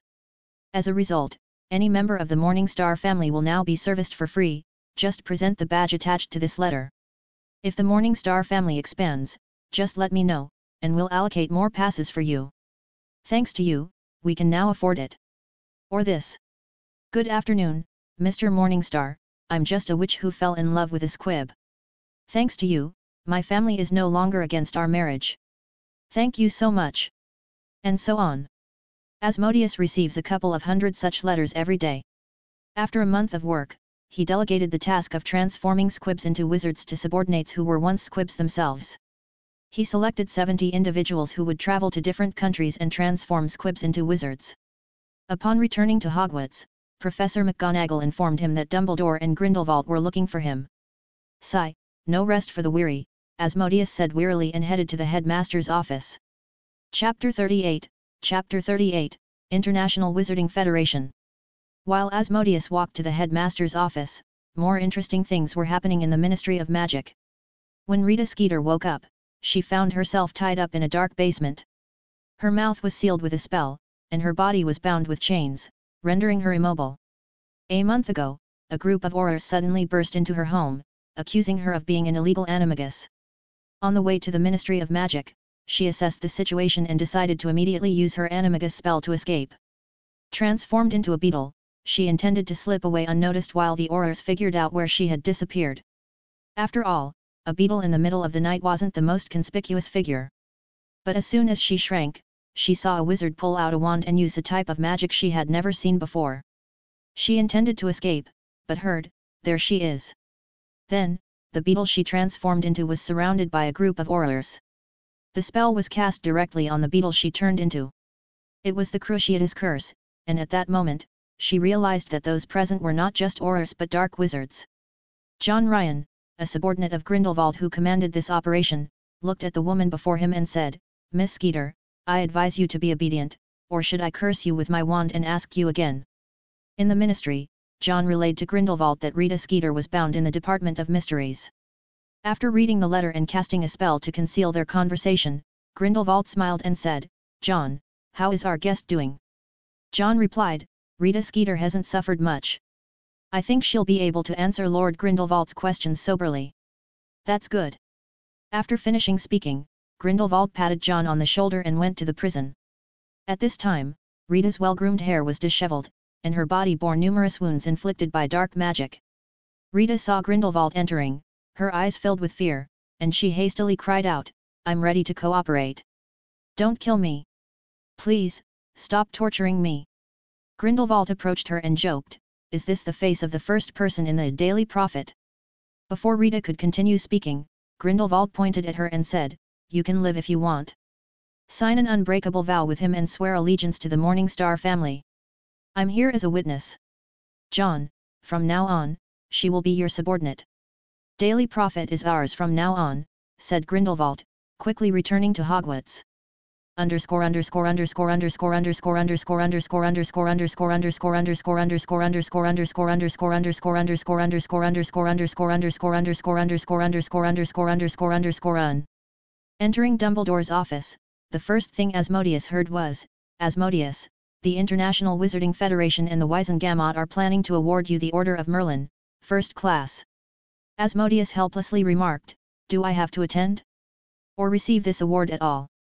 It's essentially useless. Dumbledore responded, certainly not. Merit in increasing the wizarding population deserves recognition, and the medal can only be awarded to you personally.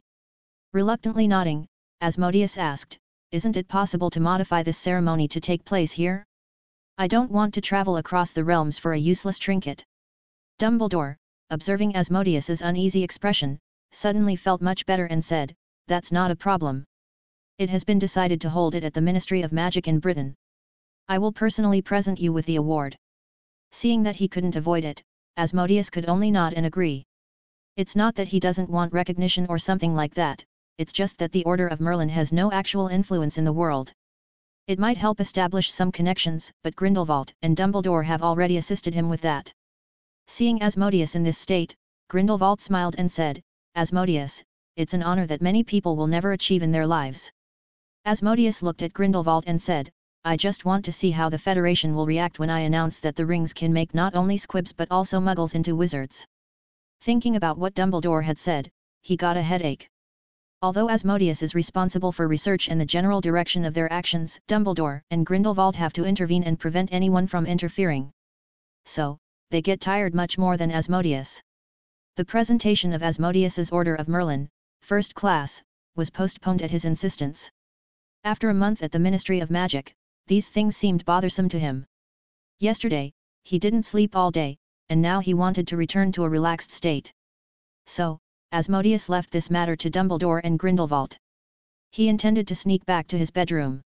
Asmodeus is currently preoccupied with the affairs of the saints and the takeover of the Ministry of Magic in England, while Dumbledore has meetings worldwide regarding Asmodeus's award. Due to this, the old man had to attend numerous meetings globally, including the Wizengamot and the International Confederation of Wizards. In short, Asmodeus is slightly worried about Albus's health, but there's nothing he can do about it right now he just wants to sleep. Asmodeus quietly returned to his bedroom and stayed there for two days, resting. After three days, he emerged from the room when Hermione called for him. In their daily lives, they get along well, and Asmodeus considers her a good friend nothing more, he's not a lolicon pervert. He simply thinks that Hermione has changed a lot since that conversation in the bathroom. She no longer tries to please everyone and stand out. Currently, Hermione is more like a Ravenclaw than the one from the Golden Trio. She reads books that interest her rather than the entire school curriculum. She has almost stopped interacting with Harry and Ron, or rather, she doesn't interact with Ron at all, while she talks to Harry. Asmodeus has become a good friend to her, someone who can help if she doesn't understand something, and he introduced her to his circle of acquaintances, expanding her horizons. Those who are better than you won't consider you an upstart if you know something they don't, on the contrary, they will ask you for advice. Thus, Hermione joined this strange campaign of eagles, badgers, and lions. She often asks Cedric if she doesn't understand something about herbology and also talks to Cho Chang and Penelope Clearwater on female topics. Penelope didn't have to deal with Percy due to the arrival of Asmodeus. He noticed her because she performed very well in Ancient Runes classes and recommended her to Nico as a potential student. He was pleasantly surprised when he learned that Nico decided to teach her the crafting of magical instruments, seeing potential in her. Therefore, Penelope no longer needs to rely on her pure-blood family to get a position in the Ministry of Magic. Oh, how surprised she was when she found out that Asmodeus and Nico knew each other. Now she regularly flirts with him. Asmodeus doesn't mind, but he is not yet ready to start a relationship. He believes it's better to contemplate this when his body completes the phase of rapid growth, especially considering that there won't be a long wait. Chapter 39 Chapter 39 Muggles Asmodeus, come out. We've all been waiting for you. Tell us about these so-called magical rings. Asmodeus was awakened by a knock on the door accompanied by a shout. I'm coming out now. Just wait five minutes. God, no rest, he thought. Five minutes later. Wow, you've all gathered here, Asmodeus said in surprise, looking at the people in front of his room. The Weasley twins, Cedric, Penelope, Hermione, and Cho Chang were present. Whose fault is it that you disappeared for a month? Ours. Hermione asked, clearly displeased. I was at the Ministry of Magic, and I needed to control the situation until the former squibs will be ready to take further actions. Alright, alright, no need to justify yourself. Better tell us why we didn't know that you were studying how to turn squibs into wizards. Fred and George asked. And would you have understood anything if I had told you? Asmodeus looked at them contemptuously. How would we know if we don't try? Well, if you want, you can also build magical rings on your hearts, Asmodeus said. What? All six exclaimed in unison. Why scream like that? I have a headache because of you. Do not deviate from the topic. What do you mean by asking us to build rings? Isn't it only for squibs? Huh? No, of course not. They are suitable for wizards with a functional chain as well. This way, you can increase your physical fitness and mana capacity, Asmodeus explained. Why didn't you say that earlier? They asked. You didn't ask. He replied. Alright, alright, everyone calm down. Asmodeus, will you help us build the rings? Penelope asked. Yes, come in. I don't want to go anywhere, so let's do everything in my room. So, 30 minutes later, everyone had three rings each, with runes inscribed on their hearts. Don't forget, wizards don't need to adapt to magic, so they can build three rings around their hearts without worrying about overload. Try casting a spell, Asmodeus told them. The whole company nodded and began to try various non-destructive spells. Wingardium Leviosa. Wow, it feels like before I had to concentrate when using magic, and now it's as if I can achieve the desired effect with just one thought, said Hermione, looking at the levitating teapot. In a sense, you are right, but currently, you are using too much magic for a basic spell. Magical rings are designed to enhance control over magic and increase the amount of mana in the body. However, this doesn't mean you should forget about control after gaining more mana. On the contrary, you must learn to spend less mana and better control magic. Additionally, thanks to the rings, your lifespan will increase, and your body will become stronger. Although you won't turn into a bodybuilder now, you will gradually become physically twice as strong as an average wizard. Hermione, thanks to the rings, your magic is now at the same level as Cedric's before the rings. And Cedric is now on par with elite Aurors in terms of mana. By the way, try not to tell anyone that rings can also be made for wizards. It will attract unnecessary attention, and I don't need that right now. Coming from someone who is about to receive the Order of Merlin First Class. You know, they usually give that posthumously, said Pinello. Asmodeus, are you cursing me? By the way, thanks for reminding me. I need to talk to you and Hermione, but that will be later. For now, Cedric, Fred, George, Hermione, Pinello, Cho, do you want to attend the Order of Merlin ceremony? Yes. The company answered in unison. Why are you all so loud, alright, I got it. You will receive invitations tomorrow. The ceremony will take place next week at the Ministry of Magic. You can bring your families. Now, all pure bloods, please leave the room. Why? asked the Weasleys, Cedric, and Cho. Because I need to discuss something with Pinello and Hermione alone. Oh, why so secretive? You'll find out in a year, maybe two. Okay, okay, we're leaving. Good. After seeing off the four individuals, Asmodeus remained in the room with Pinello and Hermione. Hermione, Pinello, the next conversation must remain secret until I permit otherwise. Okay. Hermione nodded, and Pinello said, let's make an unbreakable vow. Even under legilimency, no one will know what we talked about today. Are you sure? Hermione, what about you? Yes, if this ensures keeping the secret, it's better to make an unbreakable vow. Alright then. I'll make vows with both of you. You'll be a witness for her, and she'll be a witness for you. After a couple of minutes exchanging vows, Hermione asked, Okay, speak. I'm curious about the secrecy. You asked for it. What if I tell you I can turn your parents into wizards? What? It seems that I need a headache pill. Forget about your headache. What do you mean? What I said. I can make your parents wizards. How? Wait, really? Bingo, yes, I initially created the rings to allow muggles to become wizards. Oh my god, you want to repeal the statute of secrecy. SHH, my head hurts. And rightly so. You want to break the fundamental law of the magical world. Said Pinello. Calm down. Pinello, what do you think of the magical world now? Colorful, unusual, strange, magical. Pinello replied. Asmodeus nodded and asked Hermione, and you? Pretty much the same as Pinello, just in my opinion, the magical world is also cruel. Asmodeus nodded and said, want to know what I think of the magical world today? Uh-huh, the two girls nodded. Poor, weak, outdated, crumbling, teetering on the edge, distant from complete destruction. Such a harsh description took the girl's breath away. You, isn't it a bit too No. It's a clear description of the magical world. Especially when compared to the muggle world. Like muggle wizards, you should better understand what the magical world is facing. The power is not at all equal, and that's why I decided to absorb the muggle world. Let everyone in the world be a wizard. For the next two hours, Asmodeus explained to the two girls what he is currently working on. But what do our parents have to do with your plans? Isn't it better to wait until everyone becomes wizards, and our parents also fall under the category of everyone? To be honest, it's just my desire to give them a head start. You know, when everyone in the world becomes a wizard, many professions will disappear due to redundancy.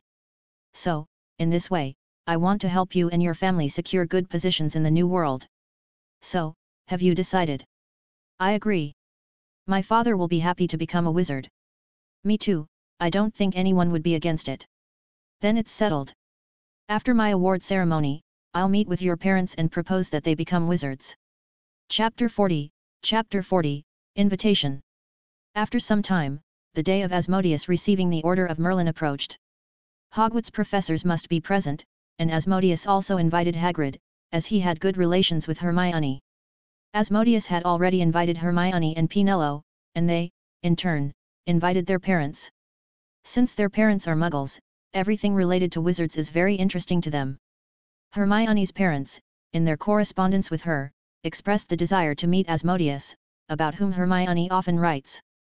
Grindelwald also planned to meet with Hermione and Pinello's families, as they are members of the most important group in their plan, Muggle parents of wizard children and just Muggles, not elite, but average people outside the magical world.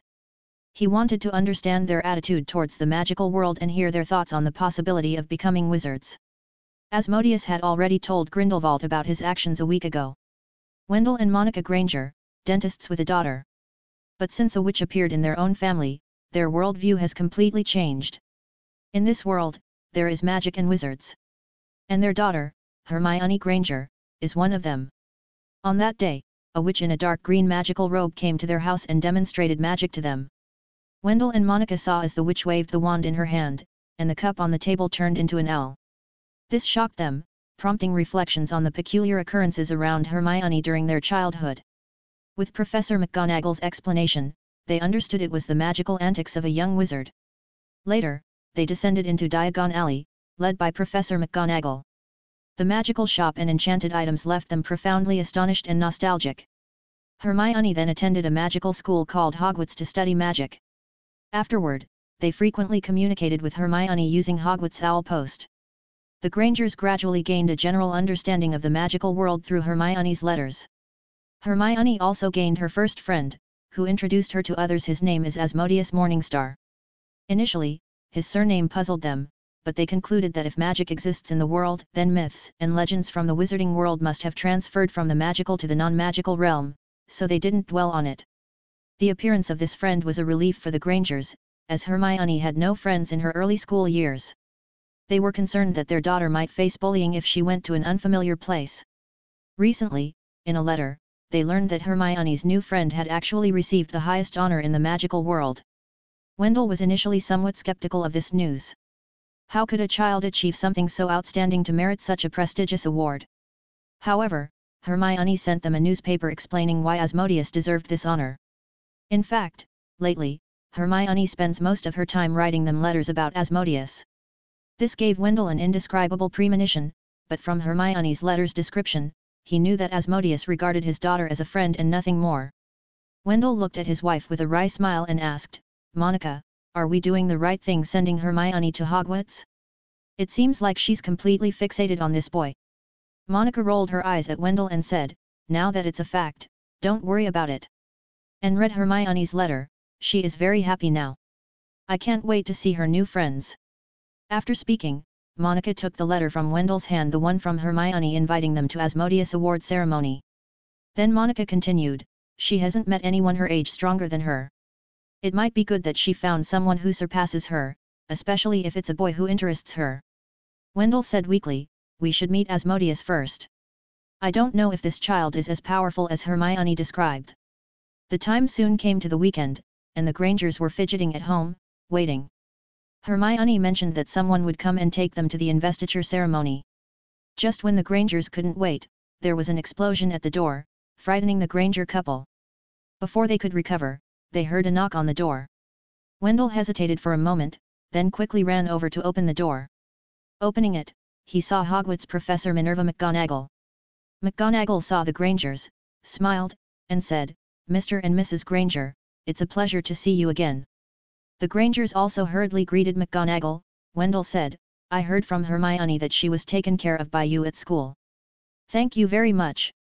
McGonagall shook her head with a smile and said, It's Hermione who works hard, and that's why professors cherish her in every possible way. She's a very clever little witch. Hearing Professor McGonagall's words, the Grangers raised their heads proudly. McGonagall then continued, Hermione should have told Mr. Granger about Mr. Morningstar. Today I'm going to pick up the two of you to go to Asmodeus Award ceremony. As members of Hogwarts, we will enter the venue early. Hearing McGonagall's words, Wendell hurriedly asked, Professor McGonagall, please wait a moment. Could you start by telling us about this boy?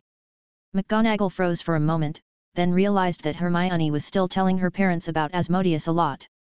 McGonagall went on to say with great pride, Asmodeus Norrin Morningstar is the most talented wizard in the history of Hogwarts or in the history of magic. He is now the youngest member of the Order of Merlin. At the same time, he is a teacher's assistant for the subject of ancient runes. The Grangers completely believed Hermione's words after hearing McGonagall's explanation. Otherwise, who would have believed that a little wizard who was only 11 years old would have such an achievement? Wendell calmed down and asked McGonagall, Professor McGonagall, how do we get to the ceremony? The Grangers then saw McGonagall taking a napkin from her robe and say, This is called a portkey, and it is a tool used by wizards to travel. Hold on to the napkin, and I'll activate it on the count of three. Today's award ceremony took place in the Grand Hall of the British Department of the International Confederation of Wizards of the Ministry of Magic. By the way, Professor Dumbledore himself made this portkey. Mrs. and Mrs. Granger looked very puzzled at the napkin. Is this what wizards use for travel? But the Grangers put their hands on the napkin after McGonagall said, closing the door behind her. Since they had witnessed magic, seeing the Grangers release their hands, McGonagall solemnly said, absolutely do not let it go in the middle. Seeing the nervous Grangers nodding, McGonagall continued, then I'll count to three. One two three. The Grangers saw the napkin trembling in their hands, emitting a faint blue light. Then the Grangers felt a hook in their navels. Then their feet left the ground. Their bodies started to fly forward swiftly, so fast that they couldn't see anything clearly ahead. The same thing was happening in the Clearwater home. Only this time, Professor Filius Flitwick picked up Pinello's parents. Chapter 41, Chapter 41, Order of Merlin. At the moment when the Grangers finally landed, they felt almost nauseous. Wendell struggled to get up from the ground and asked McGonagall, Professor McGonagall, is your wizard's travel, ugh? Has it always been this, thrilling? Monica was pale as well. Professor McGonagall looked at the awkward Granger couple, pulled two potion bottles from the wizard's robe, handed them to the Granger couple, and said, Actually, Port portkey remains a more convenient method. The most common method we use is apparition. Mr. and Mrs. Granger, this potion will ease your symptoms. The Grangers took the potions, staring at the dark blue liquid inside, for a while, they dared not speak. Seeing this, McGonagall said, just take a sip, and the effect will be quick. The Grangers finally mustered the courage and took sips of the potions. Cough, cough cough. Wendell and Monica swore. They had never in their lives tasted anything so dreadful. It was like thick mucus mixed with the smell of raw fish.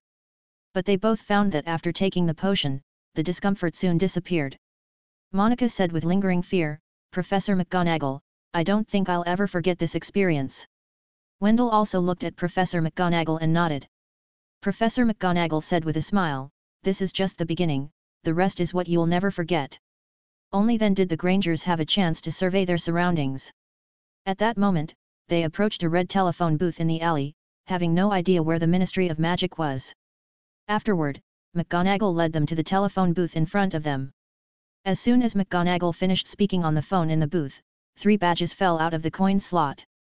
McGonagall instructed the Grangers to put on the badges. While they looked on skeptically, the space inside the booth began to descend slowly. Soon after, all three arrived in the Ministry of Magic's hall. Then, they needed to take the lift in the atrium to the British Department of the International Confederation of Wizards on the fifth underground floor. The award ceremony would take place there. Today, the fifth underground floor of the Ministry of Magic was exceptionally lively as the investiture ceremony of Asmodeus with the Order of Merlin, first class, was taking place. Reporters had arrived at the Ministry of Magic in advance to witness this bustling scene. Caitlin Ryan, a journalist from the USA, observed this lively scene and said to Rita Skeeter standing next to her, I didn't expect this. A Hogwarts student can indeed receive the Order of Merlin. And it's a first-class medal. Who would have thought of this before? Rita smiled and said, Of course. We are witnessing a legend this time. When Caitlin heard Rita's words, she looked at Rita in surprise and said, Miss Skeeter, don't you think it's a conspiracy this time? It's not easy to be sure about the topic.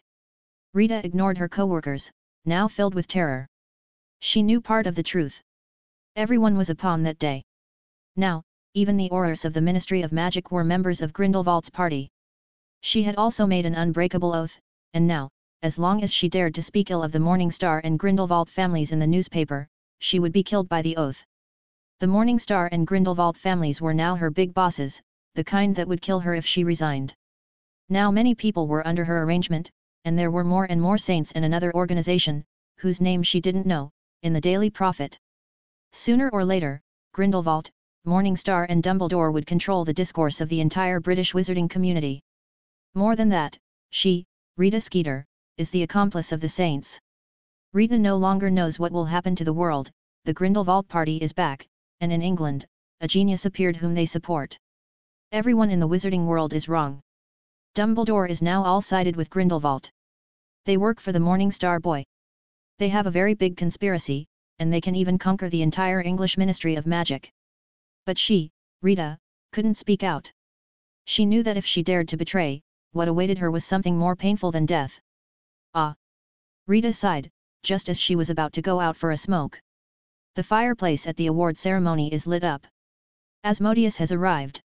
Asmodeus had just arrived at the venue, and seeing so many people, he rubbed his sore temples. Grindelwald beside him joked, Asmodeus, today is your debut day, cheer up. Asmodeus gave Grindelwald a dead fish glaze and said, If I could, I would refuse this useless nonsense you forced upon me. At this time, Hermione, Pinello, and Cho Chang were nervous as they had come to the Ministry of Magic with Asmodeus and were now standing near him. Asmodeus stepped in front of them first. At this moment, reporters quickly surrounded him. Mr. Morningstar. May I ask you about your next steps after receiving the award? Mr. Morningstar. Your Wizarding World expansion idea sounded like something from Grindelwald, are you going to continue the legacy of Gellert Grindelwald? Mr. Morningstar. What is your relationship with Gellert Grindelwald and Albus Dumbledore, they both came to support you today. Looking at the reporters who approached and the flashing lights of the cameras, he felt that his friends were getting nervous. Asmodeus got a little impatient and said, Enough. As soon as Asmodeus's voice fell, two rows of red flames separated all the reporters from him and the people behind him. The reporters and the Ministry of Magic staff were frightened, backing away when they saw the fire. The rumors from Hogwarts that Asmodeus is really skilled in fire magic were confirmed. No spell, no wand, nothing. No one dared to say a word, looking fearfully at Asmodeus. This is the Ministry of Magic, and they are journalists, how can he boldly separate himself from them like this? At that moment, Grindelwald patted Asmodeus on the shoulder and said, Hey, I'll handle this for you, no need to be nervous. I'm not nervous, they just annoy me like persistent flies that won't go away. But you have to endure it. Asmodeus nodded, turned to the girls, told them not to get nervous, and walked ahead. When Asmodeus began to walk, the fire automatically dispersed in front of him, closing behind his group.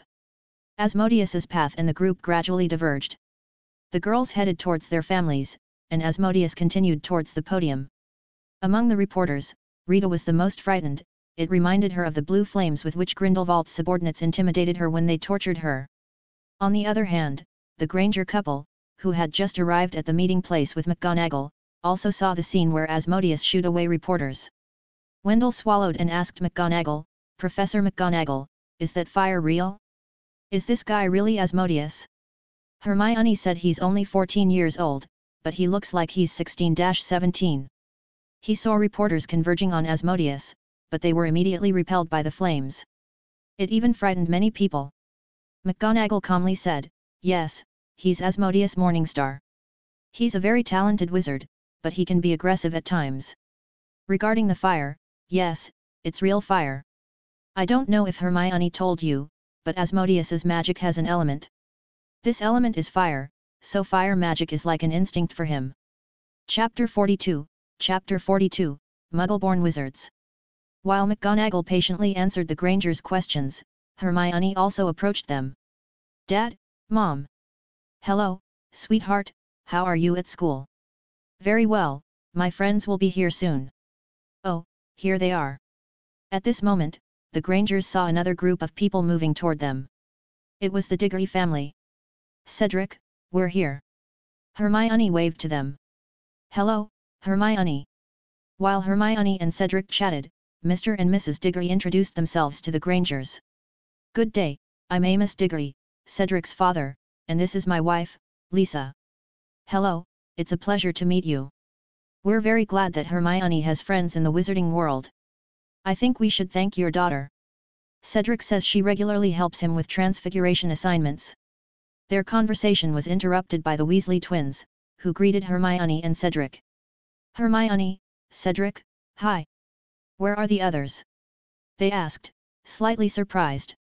Cho Chang and her parents will be here a bit later, they wanted to bring her grandfather. Pinello and her parents were supposed to be picked up by Professor Flitwick, and here they are, said Cedric, seeing Professor Flitwick approaching with Pinello and a muggle behind her. Pinello's mother died when she was very young, and her father didn't know she was a witch until Pinello's acceptance to Hogwarts. Therefore, Pinello's father, who loved his wife very much, wanted his daughter to become a witch too. Hello, Minerva. Can I entrust Mr. Clearwater to your care? I saw representatives of the wizarding dueling community and want to talk to them. Thanks to Asmodeus and the glory he brought to the school, I'm sure I can convince them to hold this year's competitions at Hogwarts. Of course, Phileas, don't worry. I'll help Mr. Clearwater get home and assist him in understanding the magical world today, said McGonagall with a smile, looking at the eager Flitwick. Seeing Professor Flitwick leave, Mr. Granger asked McGonagall, Professor McGonagall, who is he?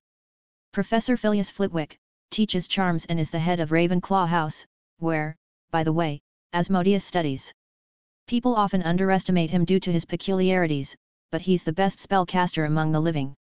He's a former world dueling champion with magical wands. Hearing this, the muggles nodded. Honestly, Flitwick initially seemed like a clumsy and kind old man due to his short stature. But upon hearing his titles, all parents understood that in the magical world, judging people by appearance wasn't wise. Pinello, where's Cho Chang? She's on the third floor of the ministry right now, said she would find us soon. After a couple of minutes, Cho joined them, accompanied by her mother, as her father and grandfather had business in another department of the ministry. Hermione's parents and Pinello's father regularly asked McGonagall about the magical world and Hogwarts. In turn, she patiently answered all their questions with a smile. Flying brooms aren't the only flying instrument for wizards. There are flying motorcycles and flying carpets. They're just prohibited from importing to England. Time flew during their conversation, and the award ceremony began. Mr. and Mrs. Granger, as well as Mr. Clearwater and the children, let's proceed to our seats, said McGonagall, leading the crowd like a mother duck guiding her ducklings. Watching Asmodeus take his seat, everyone from Hogwarts also settled in. Grindelwald sat next to the Hogwarts students. The poor kids and parents sank into their chairs. Only the Muggle parents didn't understand why their children were scared until they saw who sat beside them and heard the journalist's exclamations. Nicole Flamel. Nicole Flamel is present at the award ceremony. Who? Where? Oh, God, Nicole Flamel. Wait, who's beside Nicole? It's Grindelwald. Could the Quibbler be right? Morningstar and Grindelwald planning something together. Oh my, this is big news. Flamel and Grindelwald sitting together. Doesn't Flamel hold a grudge against Grindelwald for attempting to burn Paris? Hearing the journalist's last exclamation, the Granger couple and Mr. Clearwater were in shock. What did they hear? The person beside them tried to burn Paris? Muggles moved away from Gellert. Grindelwald. Nico chuckled, ha ha ha ha, you're literally a terrorist just released from prison, sit quietly and don't scare people. Grindelwald. While Nicholas Flamel taunted Grindelwald, the Muggle parents decided to ask their children who these two men were. Hermione, who are those men next to us? Whispered Wendell. Gellert Grindelwald and Nicholas Flamel. I know, but what have they done, and why are they so famous? Oh, well, one of them initiated the First Wizarding War and is considered somewhat of a magical Hitler who didn't attempt mass killings, and he's also one of the most powerful wizards of the century.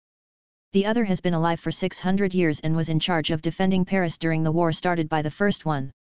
Upon hearing this casual response, the trio of Grangers and Clearwater lost their ability to speak. It seemed like they heard something unbelievable. Why did they hear something about 600 years? But most importantly, why are these people here today? And how can they be so friendly with each other? Before they could ask again, the door to the hall opened. Cornelius Fudge, the Minister of the British Ministry of Magic, led the way, followed by teachers invited to participate in the ceremony. Also there were reporters who couldn't get inside earlier came last. Asmodeus spotted many familiar faces in the crowd. Bathilda Bagshot and Newt Scamander smiled and nodded at Asmodeus. Asmodeus glanced at Fudge and said directly, there is no need to waste time. Can we start the ceremony? Fudge, with a smile on his face, nodded, he genuinely didn't care. He wasn't Fudge, and Lord Grindelwald had already declared that Asmodeus's orders should be regarded as important as his own. Minister Fudge obediently stepped onto the stage upon hearing Asmodeus's words. Welcome everyone to the award ceremony of the Order of Merlin, First Class, for Sir Asmodeus Norrin Morningstar. Today's honor for Mr. Morningstar will be presented by the Chief Wizard of the Wizengamot, Mr. Albus Percival Wulfric Brian Dumbledore. The honor of Mr. Morningstar is the honor of the entire British wizarding community. Mr. Morningstar and Mr. Dumbledore, please come onto the stage. After Minister Fudge finished speaking, Asmodeus walked onto the stage accompanied by Dumbledore. Then, Minister Fudge took a copper box from under his robe, and Dumbledore took the box, pulling out a green medallion from it. Dumbledore looked at Asmodeus, winked, and said, Congratulations. Saying this, Dumbledore attached the medal to Asmodeus's magical robe. The next moment, the hall erupted in enthusiastic applause. Everyone at Hogwarts cheered for Asmodeus. Asmodeus's friends stood up excitedly, happily watching him on stage. The Saints led by Jon Arryn chanted Morningstar. To set the atmosphere. Comment. 9 Comment. Vote. Chapter 43, Chapter 43, Parents. After the award ceremony, Jon and the others returned to their posts. They still didn't have complete control over the Ministry of Magic. Now was not the time to let up. Gradually, those connected to Hogwarts also began to depart. Upon seeing this, the girls' parents wanted to bid a simpler farewell and accompany them to the Fireplace Network. However, as they started discussing it, they were interrupted by Penny and Hermione. Hermione, Mom, Dad, we need to wait for Asmodeus. He has something important to discuss with you. Penny, Dad, shall we wait for Asmodeus? I think you'll like what you hear. Parents.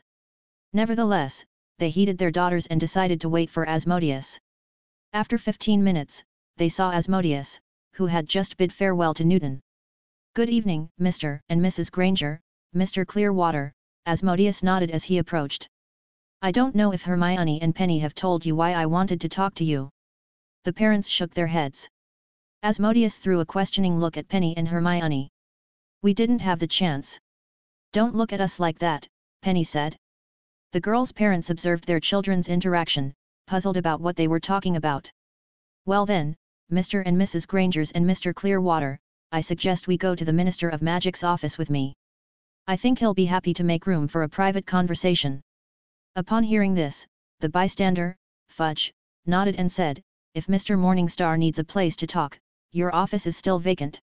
Oh, then let's go to my old office. Um, Asmodeus, may I call you that? Yes, of course, Mr. Granger. All right, may I ask why you have an office in the Ministry of Magic? Before Asmodeus could answer, Penelope interjected, it's all because of muggles. He practically had to live here until most of England's muggles became wizards, so they assigned him an office. Okay, it doesn't matter. Let's go. In a couple of minutes, the group of six arrived at Asmodeus's former office. As I understand, the girls haven't told you why I wanted to talk to you. Let's not beat around the bush. I can and want to turn you into wizards. What? I want to turn you into wizards. Darling, Did I hear correctly? It seemed like this little one is saying he'll turn us into wizards. No, dear, I heard the same thing. Mr. Clearwater, and you.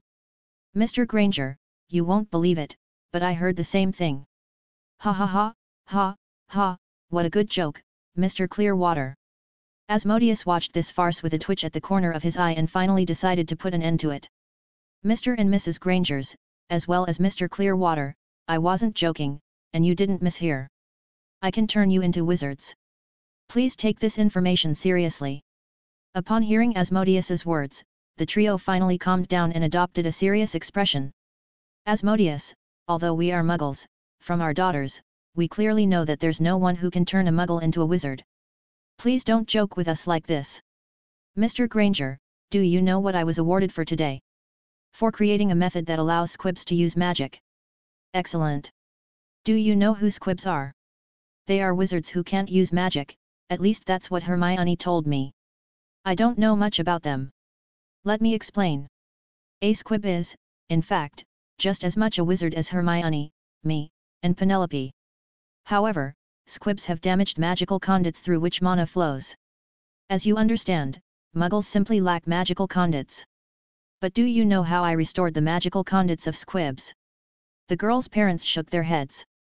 In essence, I built new magical conduits for squibs, which later merged with the old damaged sections. Wait, you said new magical conduits, does that mean? Yes, I can allow you to build what I call new magical conduits, or as I call my invention, magic rings. This will eventually allow you to become full-fledged wizards. It will take a maximum of three months if you follow the instructions. You're not joking. No, it's the plain truth. In fact, the entire elite of the Muggle society underwent a similar transformation about seven months ago, and now I'm building a new magic academy for the wizards of the new generation. You, you want to make the whole world magical. Bingo, Mr. Granger. You're right, I don't want to see magic disappear from the world. Then why do you need us? Uh, I just decided to give my friend's parents a head start. Alright, I agree, intervened Monica. Dear, you. Wendell, I don't understand what there is to contemplate. We can get closer to our daughter, so why refuse? I agree too. Mr. Clearwater said. Okay, you're right. I'm ready to. Especially since Asmodeus's words make it clear that the world is about to change. Good, I'm very glad that you made the decision so quickly.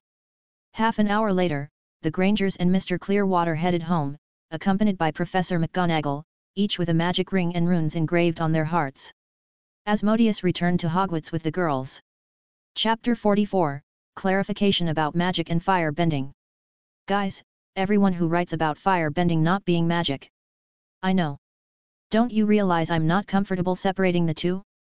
That's why I defined fire bending as magic. My god, why do I have to explain this? Fanfic doesn't have to be accurate in that sense, especially since I'm merging several worlds together. In my setting fire bending and the rest of the elements is just a special bloodline given to humans by the lion turtle. In my story, mana slash chi and all kinds of energy that can affect reality have one root. Cosmic energy. It's just that everyone has learned to apply it differently. This will be explained in future chapters. So the protagonist can use magic, and any bender can use it. Please calm down about this. If you think my approach is wrong please go read the original book and enjoy. No one is forcibly holding you down or forcing you to read it. To all those who like the book thank you so much for your support, updates are about to resume. I had a vacation from everything and decided to take a week or two to drive around Europe. If you want I can post a couple of pics in Patreon if anyone is interested. No charge. Chapter 45, Chapter 44, Otto, I am back. With the burgeoning magical population, the proprietors of potion shops, material emporiums, clothing stores, and more found newfound interest in a new trading street built by Asmodeus and his company. Upon returning to Hogwarts, Asmodeus unwound, while Grindelwald and Asmodeus subordinates diligently negotiated leases and construction permits. Asmodeus personally granted construction permits, as the land on which the trading street stood was now registered under the Morningstar family name. Gradually, the Omnis Trading Street, translating to everything in Latin, came to life. Some wizards even sought permission to build houses on the outskirts, prompting construction crews to create new branches, expanding this nascent village. Currently, Hogsmeade's population stands at around 500, while around the trading street, no fewer than 2,000 have settled nearly half of the English magical world, before squib magification, of course. Recognizing the village's potential and future development, Asmodeus decided to give it an official name. Thus, the world witnessed the emergence of the largest magical village Adastra or leading to the stars. By the way, until the Academy's construction is complete, Asmodeus opted to maintain bewilderment spells and concealment charms at the construction site. He believed it better to gift the magical world with more surprises. Therefore, for now, those living in Adastra remain unaware that they will soon reside near the world's largest magic academy. Otto Nelson, a 25-year-old young man, is simply one of the squibs living in the Muggle world, unaware or, more accurately, not comprehending that he is a squib. His father is a wizard from the USA, and his mother, a muggle, pursued the American dream and moved to USA with his father. When it was revealed that he was a squib, his father distanced himself from Otto and his mother. To avoid starvation, Otto's mother took him and left the USA, heading to Germany, her parents' homeland. His mother returned to her elderly parents, unable to work due to their care needs. Formerly a caregiver, she took on the responsibility herself to avoid spending money on one.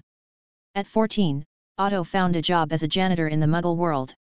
Life gradually improved, and after a couple of years, Otto became a waiter and assistant manager at the cafe. He saved up, but recently had to spend on his grandfather's funeral, who had become a surrogate father after Otto's own abandoned them. Unfortunately, his grandfather was diagnosed with stage 4 cancer, opting not to endure the treatment for a few extra months of life. Several more years passed, Otto, now 22, managed the cafe and developed a relationship with the owner's daughter, possibly heading towards marriage. Otto wasn't ambitious, he genuinely liked Anna and wanted to marry her with her father's blessing. Young love evolved into a strong relationship, leading to marriage a year later. At 24, managing his wife's cafe, Otto enjoyed financial stability. His thoughts turned to the past, questioning why his father abandoned them and what being a squib meant. Amid such reflections, Otto, now 25, happily married to Anna, contemplated a bright future. It's just a pity that the brighter the light at the end of the tunnel, the darker the darkness behind him. Lately Otto had been thinking more and more about his childhood. One day, while strolling through Europa Park in the town of Rust, Otto and Anna encountered a man holding a sign, Squibs, only you can see this, come to me if you want to become wizards. Seeing the sign, Otto was plunged back into memories from a decade ago. Darling, what's wrong? Why were you angry with little Otto? Step aside, Maria. He's not worthy of your protection. He's a squib. What squib? You've lost your mind, Mark. He's your son. I don't have a squib for a son. Shouldn't have gotten involved with a muggle, parents were right, your blood is dirty, and I should have married a witch. This dialogue was etched into Otto's memory, not that he wanted to remember it, it just imprinted itself on him. Lost in these reflections, he didn't notice the man with the poster approaching. Good morning, sir. Said the man in German with intermittent breaths as he ran towards them. Uh, good morning. Otto replied in confusion, holding his wife's hand. Oh, my goodness, how did you do that? Anna exclaimed after touching Otto's hand. What's wrong, dear?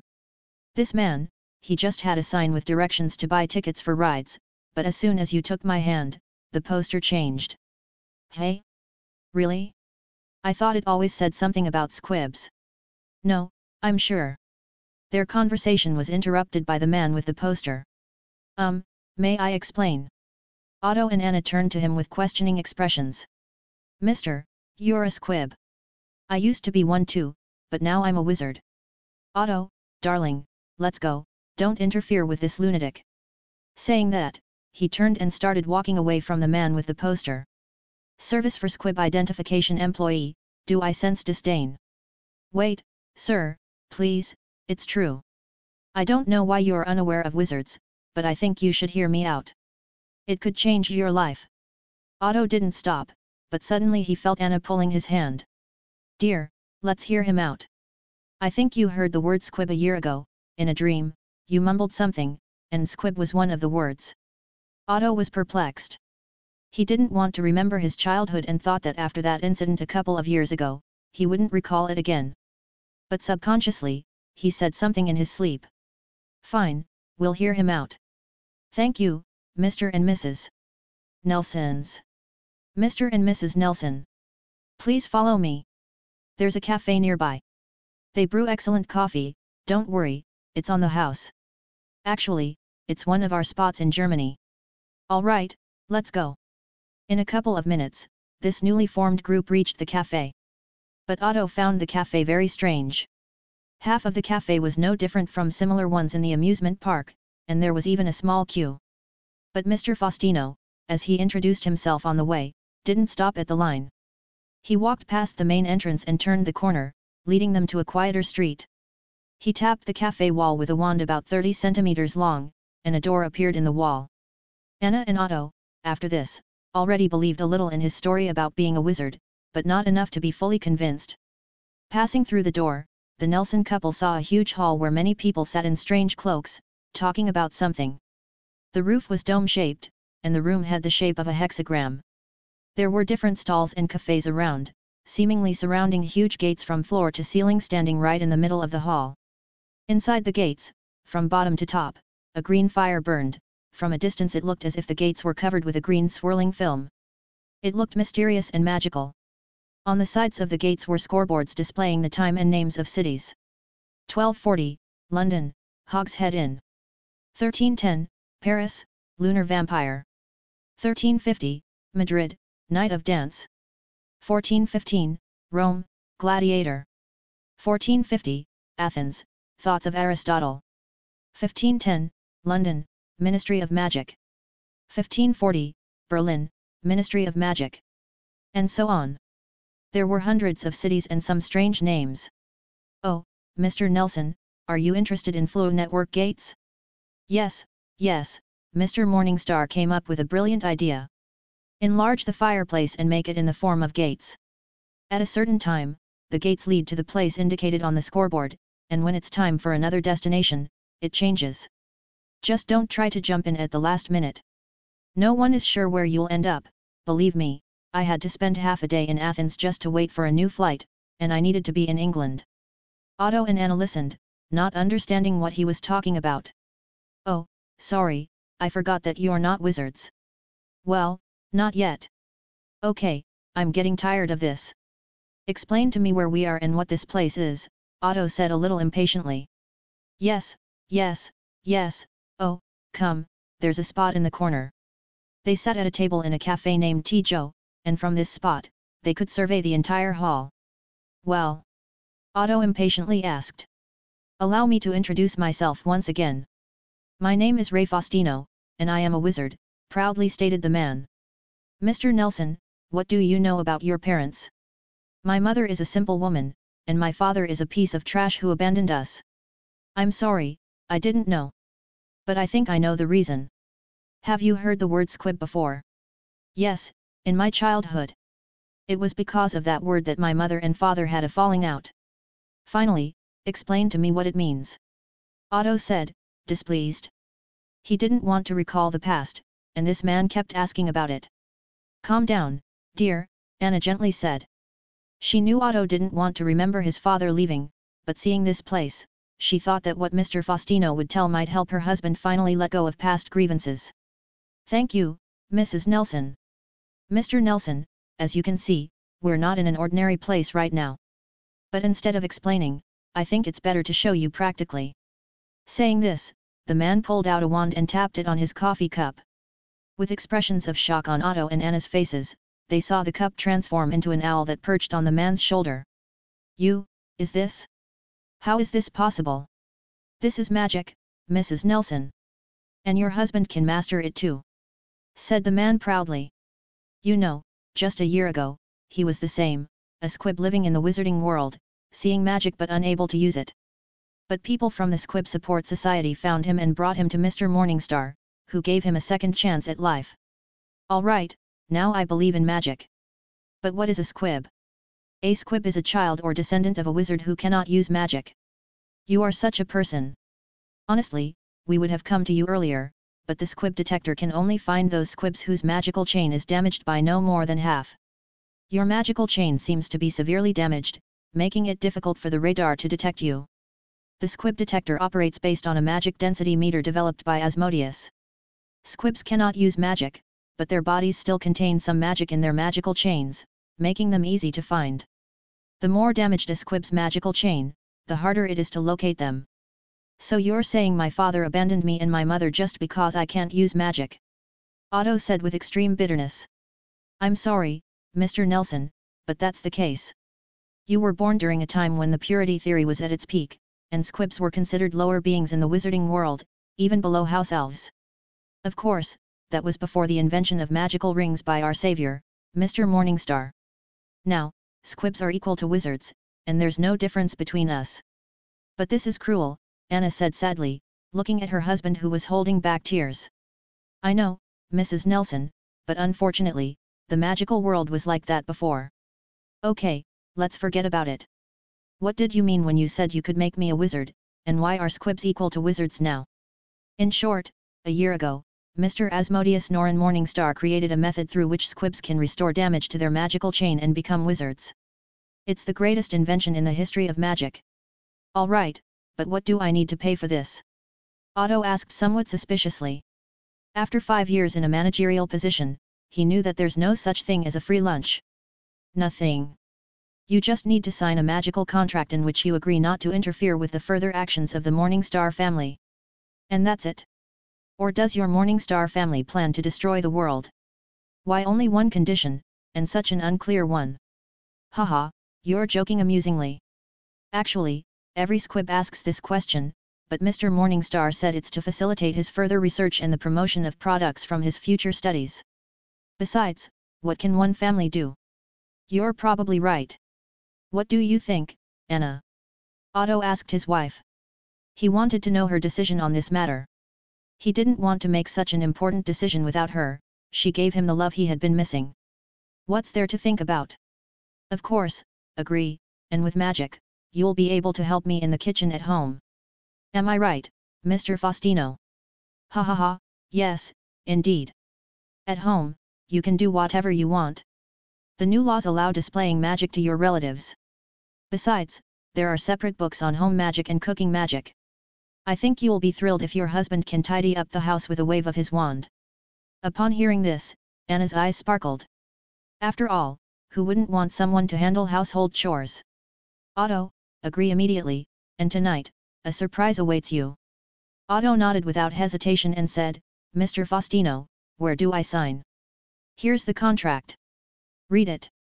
I'll answer any questions you may have, he said, handing the crumpled A4 sheet to the Nelson family. So, after five minutes, Anna and Otto thoroughly scrutinized the contract from A to Z, not skipping a single letter. The surname Morningstar. But they found nothing that could raise suspicion. In fact, there were only five points in the contract, all of which essentially meant one thing, not to oppose the Morningstar family. And that was it, no more conditions. After signing the contract, a vague symbol sparkled on Otto's hand, and he quickly disappeared. It was a sign of a successful, unbreakable vow. Well? When will I become a wizard? Otto asked impatiently. He wanted to return home with Anna as soon as possible, you know how German women can surprise you. Just a second, Faustino said, taking out his wand and aiming it at the contract. Contractum firium antum. The contract lit up and vanished, replaced by a pouch of golden galleons. What did you expect? He had to earn a living somehow, and he received 200 galleons for each squib he returned to the magical world. These were the funds Asmodeus paid his subordinates. Money meant nothing to him, but attracting new people to the magical world played into his hands. Therefore, the profession of squib detective became one of the highest paying in the magical world.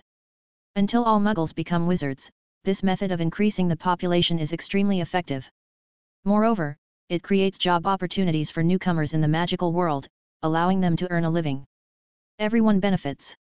Here, take this, Faustino said, pulling out a brochure with the methodology for building magical rings and a pouch of money. These funds, financed by magic ministries in different countries, are given to new squibs.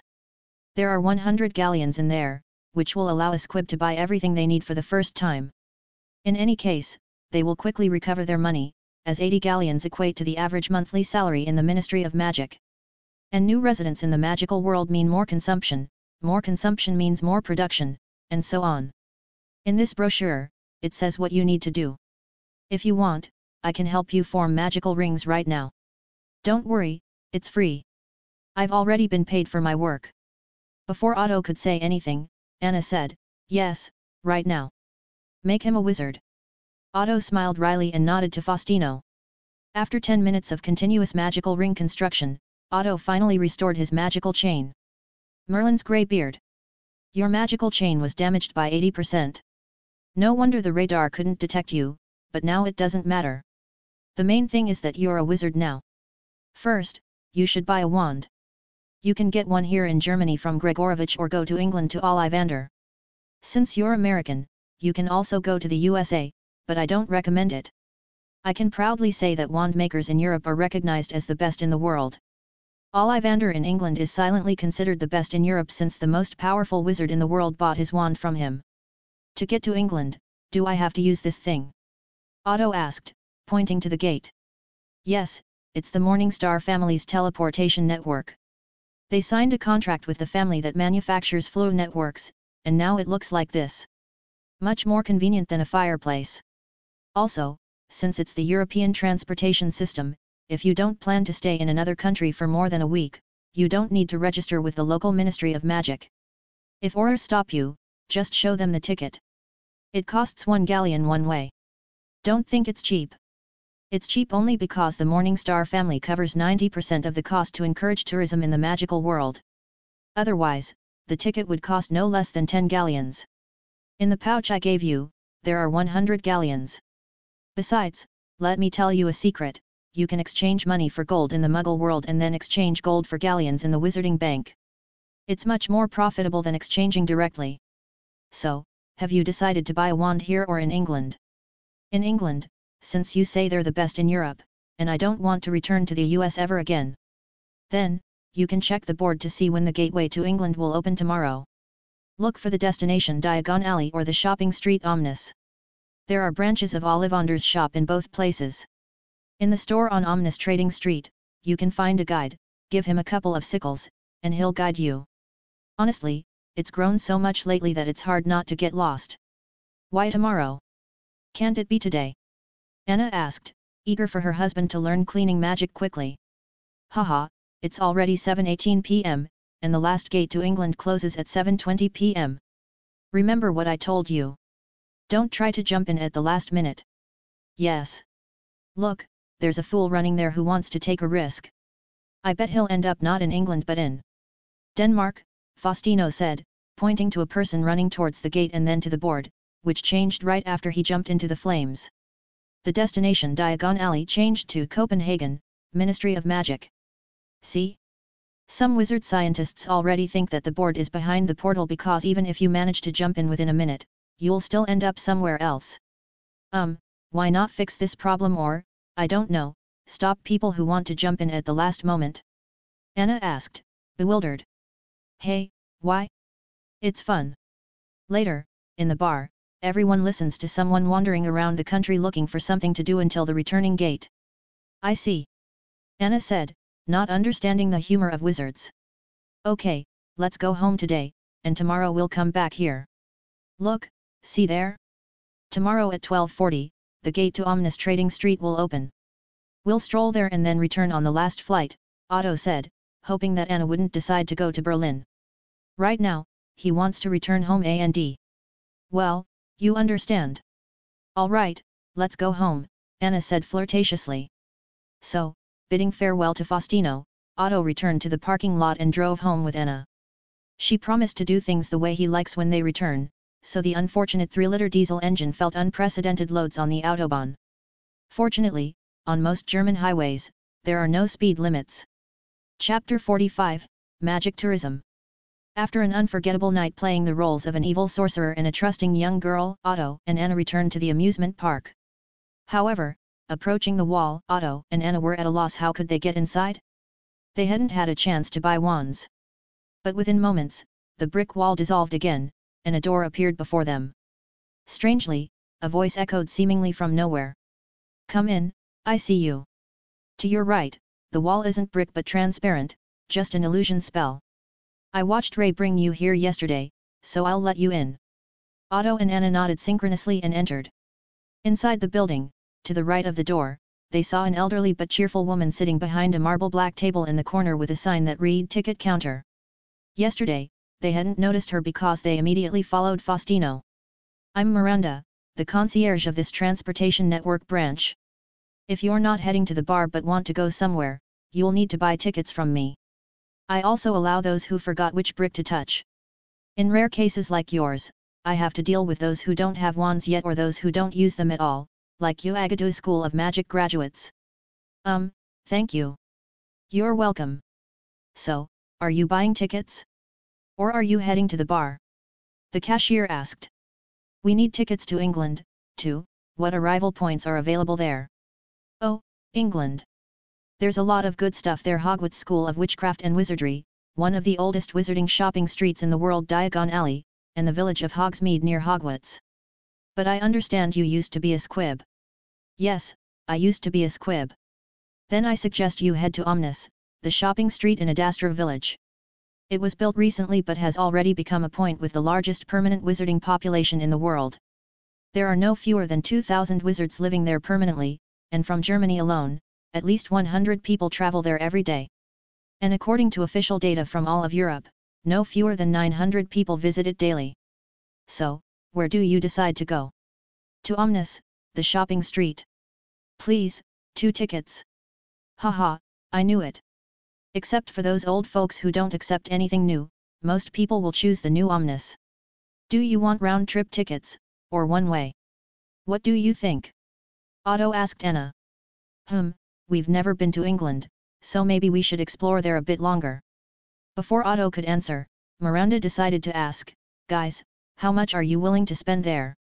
You need money to buy all the necessary wizarding supplies, as the Morningstar family sponsors Squibs, but to stay in England, you'll need money. Of course, if you're planning to stay at the Leaky Cauldron pub, forget about my question, but... I don't want to badmouth old Tom, but he should clean up his hotel more often. Money is not a concern, I brought some gold with me. Ah, so Faustino told you.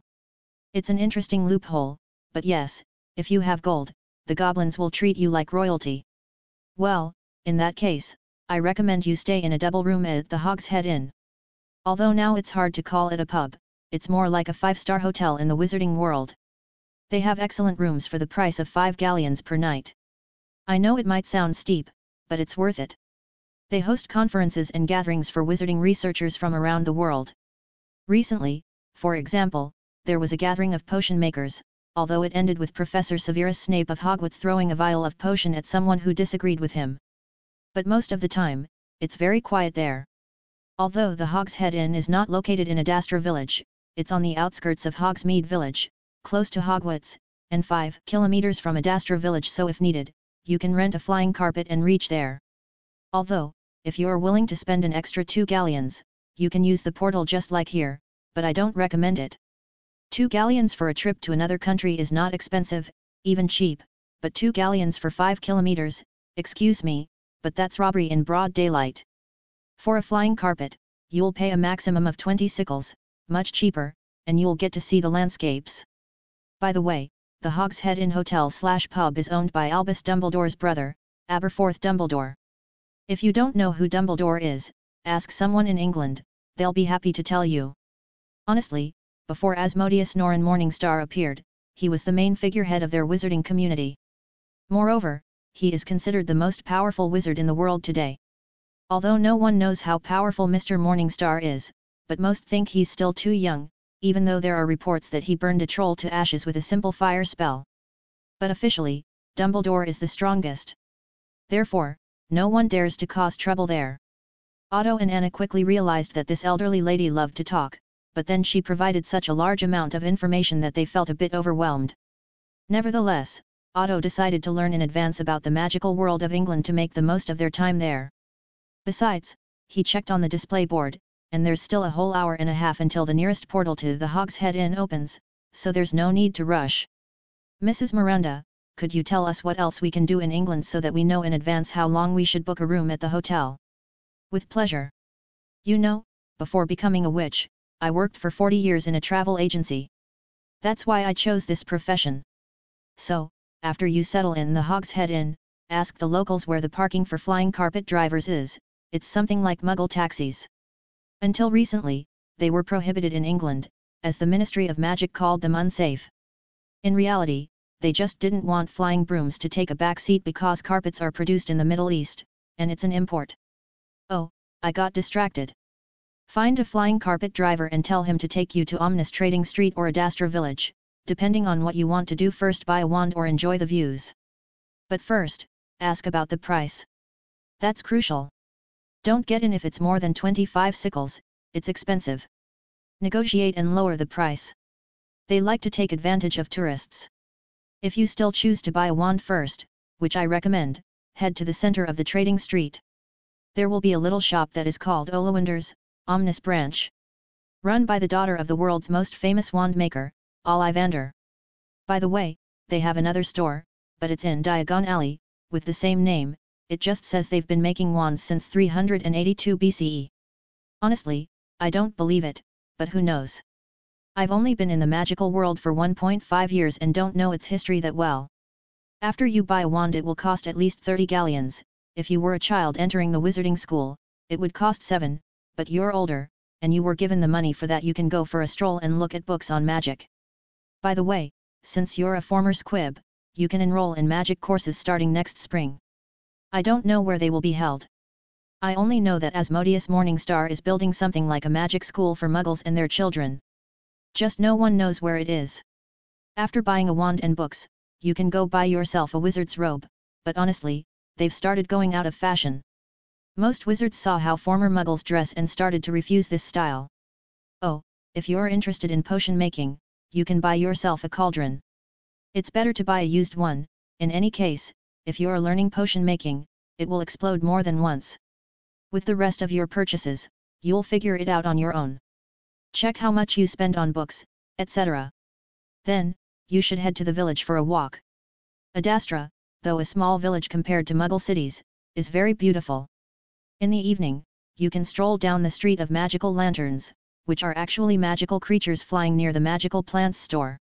They beautifully illuminate the street, and in the evenings, couples love to spend time there. Then you can return to the Hogshead Inn, A&D. Ah, is today Saturday? Otto and Anna nodded, they didn't even speak, just confirmed. What did you expect from them? They saw a person who could talk without stopping for the first time, it seemed to them that she didn't even breathe, just spoke non-stop. Oh, since it's already Saturday, you're in luck. At the registration desk, you can buy tickets for a tour around the Hogwarts area. You know, it's the first wizarding school in the world, and it's rich in history. Although they won't let you inside the castle because there are many students, they'll let you walk in the inner courtyard, and you can row on the Black Lake in a boat. If you're lucky, you'll see a beautiful sunset. Oh, don't be afraid of the guide who will show you around Hogwarts. Although it's an open secret, he's a half-giant. Don't fear him, he's just a very large and tall wizard. By the way, for an additional fee, at night, you can go with him into the Forbidden Forest and watch the moon dance of the mooncalfs living there. It's on the outskirts of the forest, so don't worry, it's safe there. Besides, you'll be accompanied by a group of five adult wizards. By the way, so you know, until recently, besides students, no one could enter Hogwarts and its territory without special permission. But Headmaster Dumbledore decided that to support tourism and better acquaint former squibs with the magical world, he would open the entrance to Hogwarts every second Saturday of the month. Although I think he just wants to earn extra money before his retirement. Oh, there are only 15 minutes left. Come on, guys, quickly, two tickets there and back or just one way. Anna and Otto, still somewhat stunned by Miranda's continuous speech, didn't initially understand why she abruptly stopped. But then they realized. Two one-way tickets to the Hog's Head Inn, we're still not sure how long we'll stay, Otto said, handing over two galleons. All right, here you go, take them, go. You have 12 minutes. Just don't jump into the portal at the last minute. With the tickets in hand, Anna and Otto headed toward the portal. Approaching it, they held hands and took a step forward. When the green flames touched them, they felt a strange sensation, as if riding a water slide while standing still. And someone was preventing them from falling off this slide. After some time, they felt like they were standing on solid ground again and opened their eyes. The surroundings were unusual. They stood in the center of a strange circle of green flames that periodically flared up, and people appeared from it. Hey, come out, why are you standing like statues? Do you want someone to appear under your feet or land on your head? They heard and turned around. They saw a man around 50 sitting at a black wooden table, on which stood signs reading registration desk, and, as they understood, his name was Robert Williams. Realizing they were blocking the entrance, they stepped aside and went to the registration desk. Uh, sorry, it's our first time. Oh, no problem. I thought you might be among those who just want to see what happens if they keep standing at the arrival point. Merlin, if they only knew how many times I had to explain to those idiots that this is only for arrivals, and the gates are separate. Until a 200 kilogram fat guy landed on someone's head, they didn't believe it. Uh, okay, probably. Are you foreigners? How long do you want to stay in England, and what will you be doing? Yes, we're from Germany. I'm a wizard, and I want to buy a wand.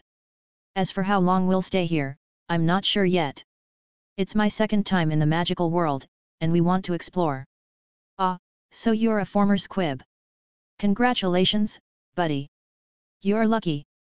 You know, in my youth, squibs were scorned in every possible way, forget it. Since you don't know how long you'll stay here, I'll grant you permission to stay for seven days. That's the maximum I can give you without documents and a lengthy registration at the Ministry of Magic. Otto nodded. Alright, sign here and here. And give me some form of identification, Muggle IDs work too. Sure, here, Otto said, handing over his driver's license and Anna's passport. Otto and Anna Nelsons, okay, I've noted your details. You can go through. Straight through the arch, and you'll come out directly into the main hall of the Hogshead Inn. I wish you a great time in England. Chapter 47, Chapter 46, The Hogshead Inn Hotel. With their documents in hand, Anna and Otto headed towards the exit when they heard a shout again. You empty-headed trolls, how many times do I have to tell you? Don't stay in the center for too long. Do you want some fat ass like Dave Charpinton to land on you? Realizing that Mr. Williams wasn't addressing them this time, they continued walking. Exiting, as they understood from the sign, arrival gate number 2, they found themselves in an even larger hexagonal hall. In the middle of the hall stood a gigantic display board, comparable to what Otto had seen in Berlin airport. Frankly, it was challenging for them to estimate the size of this area it was just enormous. If not for the continuous stream of people, they might have complained about wasting such a big space. On each face of the hexagon was an arch with a sign. For example, Departure Gate Number 1. Departure Gate Number 2. Arrival Gate Number 1. Reception, Hogshead Inn. Exit, Hogsmeade. After reading the signs, they walked across the square towards the reception area. In a couple of minutes, they arrived in an even larger hall, divided into two sections. At the entrance, there was a long hotel reception desk on the left, and on the right, a bar-slash-restaurant separated from the counter by a very wide arch. In reality, it wasn't particularly needed there, as it almost didn't obstruct the view, standing there just to define the space where people ate from the entrance. Approaching the reception desk, Otto asked the man holding a peculiar-shaped beetle in his hands, Good morning. How much will a room for two cost for three days, and is it possible to extend it later? Just a moment, sir. I'll answer this call and then assist you. In the meantime, you can have free coffee or tea, just sit on the sofa to the right for incoming guests. To order coffee, press the bell. Otto nodded, though he didn't understand how someone could call on a beetle, and walked towards Anna.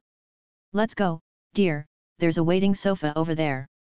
Anna nodded and followed Otto to the sofa.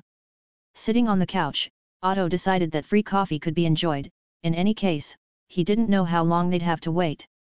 He noticed that behind the hotel counter, not just one person was working, but everyone had a beetle of a strange shape in their hands. Otto pressed the bell, expecting a random cup of coffee or tea to appear before him. Instead, a creature with huge eyes and a long-nosed attire appeared in front of him, dressed as a butler. Morbus, pleased to serve you, sir. What do you desire? We offer 108 types of tea and 56 types of coffee. Here, please take a look, said the house elf, handing Otto the menu. Otto recognized the names of two types of tea from the list, and that was only because he had seen them on the news as extremely rare and expensive teas. We'll take two of these, and two sugar packets. Do you want sugar, sir? Not magical bee honey. Let's have both, Anna said to conceal her husband's embarrassment. One moment, ma'am. With a snap of Morbus the house elf's fingers, two cups of fragrant tea and a jar of honey appeared before them. To be honest, the Nelsons were afraid to touch such exquisite cups they were clearly gold-rimmed and made of an unknown material. If the gentleman and lady need anything else, you can summon me at any time by pressing the bell. I'll be delighted to assist you. Joyfully said the house elf and disappeared. And who was that? Anna said in surprise. I'm curious too, Otto replied.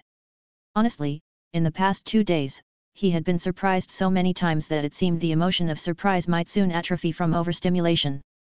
Their contemplations were interrupted by the furious cry of a young woman behind the registration desk. Merlin's dirty underpants. Why the hell are there so many calls? I can't answer three beetle transmitters at once, I can't. I'm going to complain to the owner. I'll demand an expansion of the staff. I refuse to work under such pressure. And why so many orders for tickets to Hogwarts? Make a separate line for that. She yelled, throwing large beetles in different directions. Bzzzzz, the sound of the beetle's flight. A chubby beetle, about 5 to 7 centimeters in length and round in shape, landed in front of Otto. Before Otto could remove it, he heard a voice coming from the beetle. Hey, are you still there? What about the ticket for the Hogwarts tour? Otto was stunned. He already understood that this was something like a muggle phone, but damn, how on earth do you even reject a call? And why did the beetle fly to him? Yes, the beetle phone was a recent purchase by Asmodeus. He bought a couple of them for 150 points each to make it easier to communicate with Grindelwald and organize the brigade. These beetles worked on the principle of pagers, but instead of an operator, there was a beetle in the middle. This way, you could communicate through them. More than that, they reproduced like crazy. They didn't even need to feed they fed on sound waves, gradually accumulating them to bring new offspring into the world. Plus, they were very easy to tame, and some people even managed to keep them as pets. The downside was that each beetle could only keep 200 so-called contacts and remember them. Although Asmodeus considered this a downside, none of his acquaintances said he had too few available contacts. So he bought a couple of powerful speakers in the Muggle world and figured out how they worked. Thus, he and Nico created something like a magical speaker though playing music on it was not possible, they managed to make it produce the sounds of waves crashing against rocks. That's how the first Beetlephone farm was formed, and after a couple of weeks, Asmodeus opened branches throughout England. By the way, Asmodeus noticed that these beetles were gradually evolving, so some of them could have more contacts and occasionally different shapes and colors. Otto took the beetle in his hand and tried to find something like a reset button. While he searched, he accidentally pressed the beetle on its belly and heard, call ended. Oh, interesting. How do you accept a call? Anna said. You need to pat the beetle's belly three times, replied a female voice behind her. It was the woman who asked them to wait on the couch while she finished talking. Oh, sorry. It flew to us by itself, and we decided it would be better to just end the call, considering your colleague's condition. Yes, thank you very much for that. Honestly, we can't handle such pressure. After the beetles spread across Europe, we have to deal with a couple of hundred calls a day, and sometimes several at once. On top of that, with each passing day, more and more wizards who used to be squibs come to Hogshead Inn, and we're also preparing to host the Alchemists Congress organized by Nicholas Flamel, because of him, we're now overloaded with work. Every week, the boss hires another employee, but that's not enough. So, please forgive us for the inconvenience. I've finished the call and am ready to assist you. Regarding your questions, the price for three nights will be 20 galleons without meals. If you include a buffet, then the price will be 30 galleons for three nights. Unfortunately, I can't answer about the possibility of extending your stay. Currently, we have the last double room available, and if you don't pay for it within an hour, it may be rented to someone else. Therefore, I can't say whether you'll be able to extend your stay later although there's a chance that other rooms will become available, and you may move to them if absolutely necessary. Are there any other questions you'd like to ask? Not for now, but maybe later. For now, please give us a double room with meals for three nights, here are 30 galleons, Otto said, counting out 30 golden galleons from his pouch. All right, follow me to the registration desk. I'll check you in and give you the key to your room. The room is protected by anti-apparition magic, so no one can enter without a key. Well, except for house elves, but they've never stolen anything from a wizard in history. So your belongings will be perfectly safe, said Rose, the woman behind the registration desk. After a couple of minutes, Otto was already holding the key. If it weren't for what Rose said about the anti-apparition magic, he would never have believed that this old-style key could protect against any burglars. Follow me, said Rose, exiting the desk. Otto and Anna followed her. After passing through the restaurant-slash-bar area, they arrived at a wide staircase. Climbing to the third floor, they saw a corridor that seemed to stretch on forever. Frankly, they still couldn't grasp the size of this building. Based on what they saw inside, it felt like their hometown was smaller than this structure. Go straight down the corridor, your room is 19. For any questions, you can contact the registration desk through the Beetle phone in your room. To call, just say, connect to the registration desk, and we'll answer immediately. You can order lunch in your room, but I'd recommend having dinner downstairs. Since we're currently overwhelmed, the housekeepers can't manage to deliver dinner to the rooms. Sorry for the inconvenience, Rose explained, bidding farewell to the Nelson couple. Thank you, said Otto, taking Anna's hand, and they continued down the corridor. 16. 17. 18. Here we are, 19. Otto inserted the key into the lock and opened the door. The couple stood in astonishment.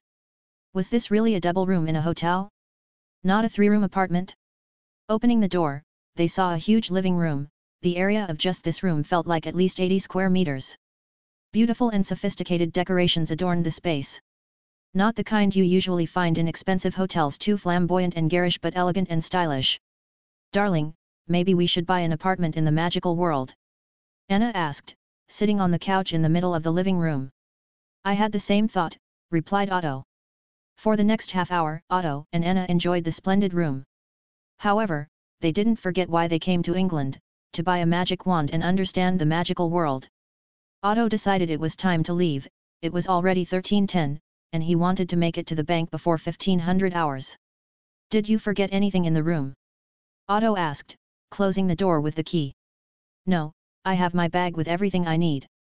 Let's go quickly, I want to see the flying carpet Miranda mentioned. Descending again, Otto approached the registration desk. Could you tell us where the nearest parking for flying carpets is? At the exit, turn right and walk about 150 meters. The parking is on the left.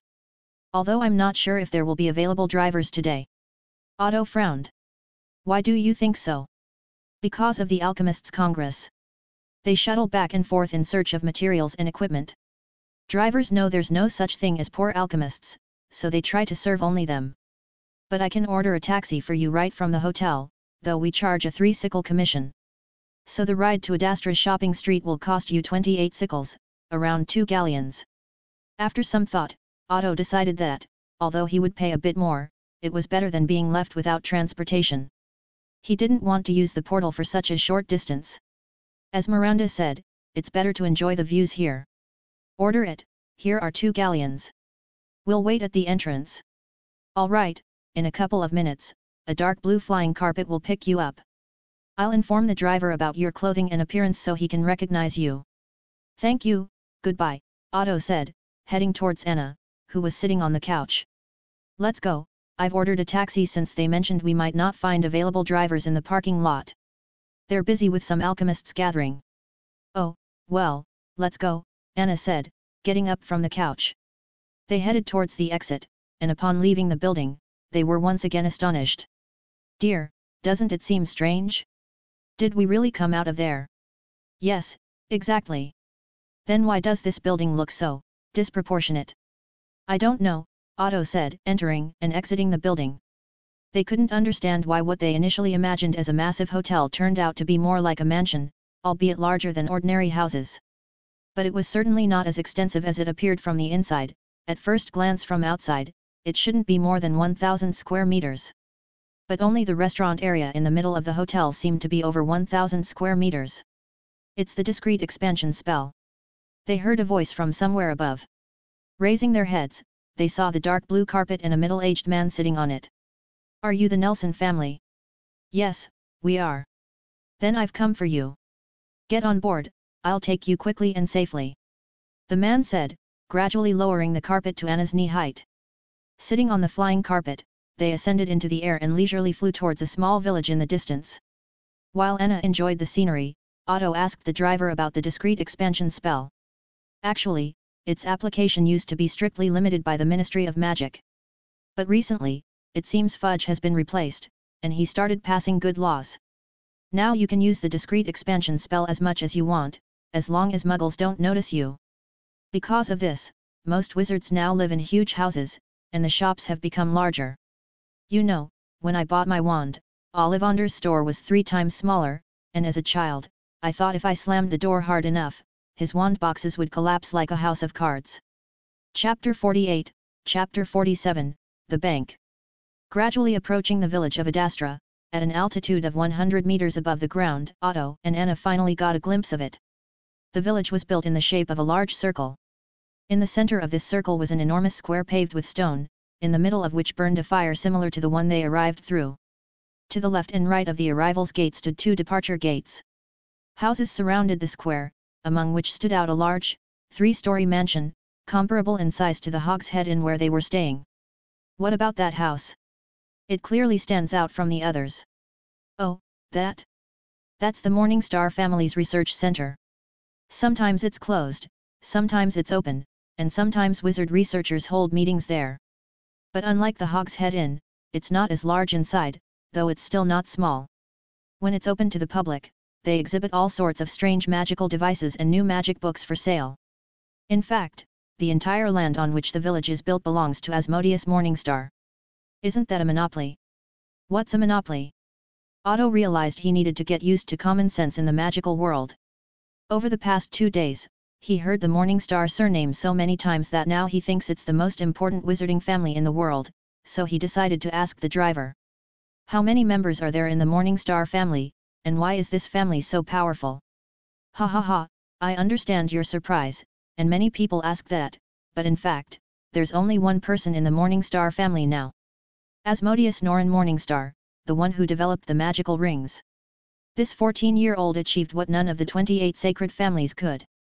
One person? 14 years old. Astonishingly exclaimed the Nelson couple. They couldn't imagine founding a family that felt like the most important in the entire magical world at such a young age. Yes, I know. It's amazing, isn't it? In fact, Mr. Morningstar is now considered the most enviable groom in the wizarding world. Because any woman who marries him becomes a princess in the magical world.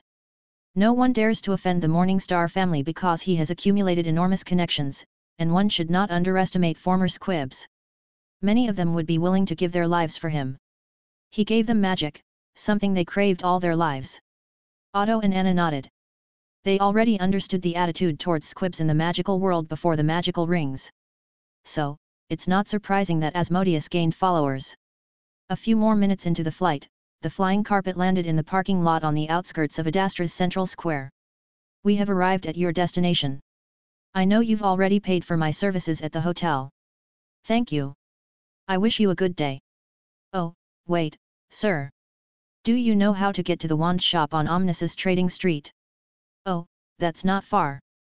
The trading street is to the north of the village. You see, the square is surrounded by houses, but there are streets between them. You need that street over there. It's the widest. Walk 200 meters along it, and you'll find yourself on the trading street. Don't worry, you won't get lost, there are signs everywhere. The driver said and then added, if you want to exchange gold, I recommend the local bank Adastra, it's called the same. It's also owned by the Morningstar family, and they currently have the most favorable exchange rates for gold to galleons. Thank you very much. How do we get back? We heard that most drivers are busy or don't want to take anyone except alchemists. Don't worry about that. See over there. The driver pointed to something like a gigantic beetle in the form of a phone booth, to the right of the parking lot. That's a beetle telephone booth. You can ask it to connect you with the hotel administration. They'll call me or someone else to pick you up. But, as you already know, we charge a bit more than those standing on the street. Not much more. We'll probably order a taxi from the hotel when we return. Thank you very much for the advice. You're welcome. It's my job, I immigrated from India to England after seeing how vibrant life is here. After bidding farewell, the Nelson couple set off on their way. They kept looking around all the time, drawn to everything they saw. Although Adastra is called a village, it looks more like an ancient city. The buildings are mostly constructed in one style, resembling old Germanic architecture. Not tall but neat houses. Occasionally, you can see a tower with a pointed roof and oddly shaped clocks on it. The clock face is not mechanical, it consists entirely of a strange black flame.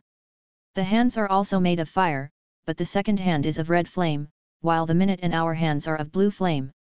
It looks beautiful and entirely reflects what could be called magic. The closer they got to the trading street, the more banks and shops they saw. Dear, there's the bank the driver mentioned. Anna pointed to a four-story building clearly standing out from the general view of the street. The main part of the building was the color of mammoth bone, with black and red flame patterns on the walls. The name Magic Bank Astra was carved on one of the walls. There was no entrance on the first floor, instead, there was a staircase leading directly to the second floor and tall iron doors with two inscriptions on them. The first one read, Wealth can be found, but it's much harder to keep. Does wealth make you happy? And the second one. Is he poor who has nothing to lose? Otto and Anna didn't ponder much on these inscriptions, they thought they were there for atmosphere. Before they could knock on the door, it opened by itself. They saw a large reception area and heard a slightly excited voice. Hello, are you here by appointment or without an appointment? They saw another house elf dressed like a butler, but this one was noticeably younger, and his attire was very elegant. They didn't know that just two months ago, wizards would have considered this house elf insane. Asmodeus decided to hire those house elves who had been abandoned by their previous owners. He told them that if they wanted to work for him, they would have to wear the uniform he provided. Also, Asmodeus had a hard time convincing the elves to accept a salary. He pays them 10 galleons a week. He wanted to give more, as he does not support slavery, but they outright refuse. You might think that Asmodeus enslaved those first 10,000 squibs. But in reality, the contract of loyalty to the Morningstar family clearly specifies the payment for their work. They earn very well. As for the house elves, Asmodeus treated them the same way. Instead of simple words of submission, the elves signed a contract with Asmodeus they would serve him on his terms. Asmodeus' terms were clothing, salary, and self-respect. Thus, around 300 house elves currently work for Asmodeus in various shops and enterprises of the Morningstar family. In fact, he wants to verify his suspicions about house elves. He and Nicholas found records that the entire race was enslaved by a witch in ancient times. That's why now, they look like this. Although they used to look completely different. Asmodeus and Nicholas are trying to find a way to lift the curse.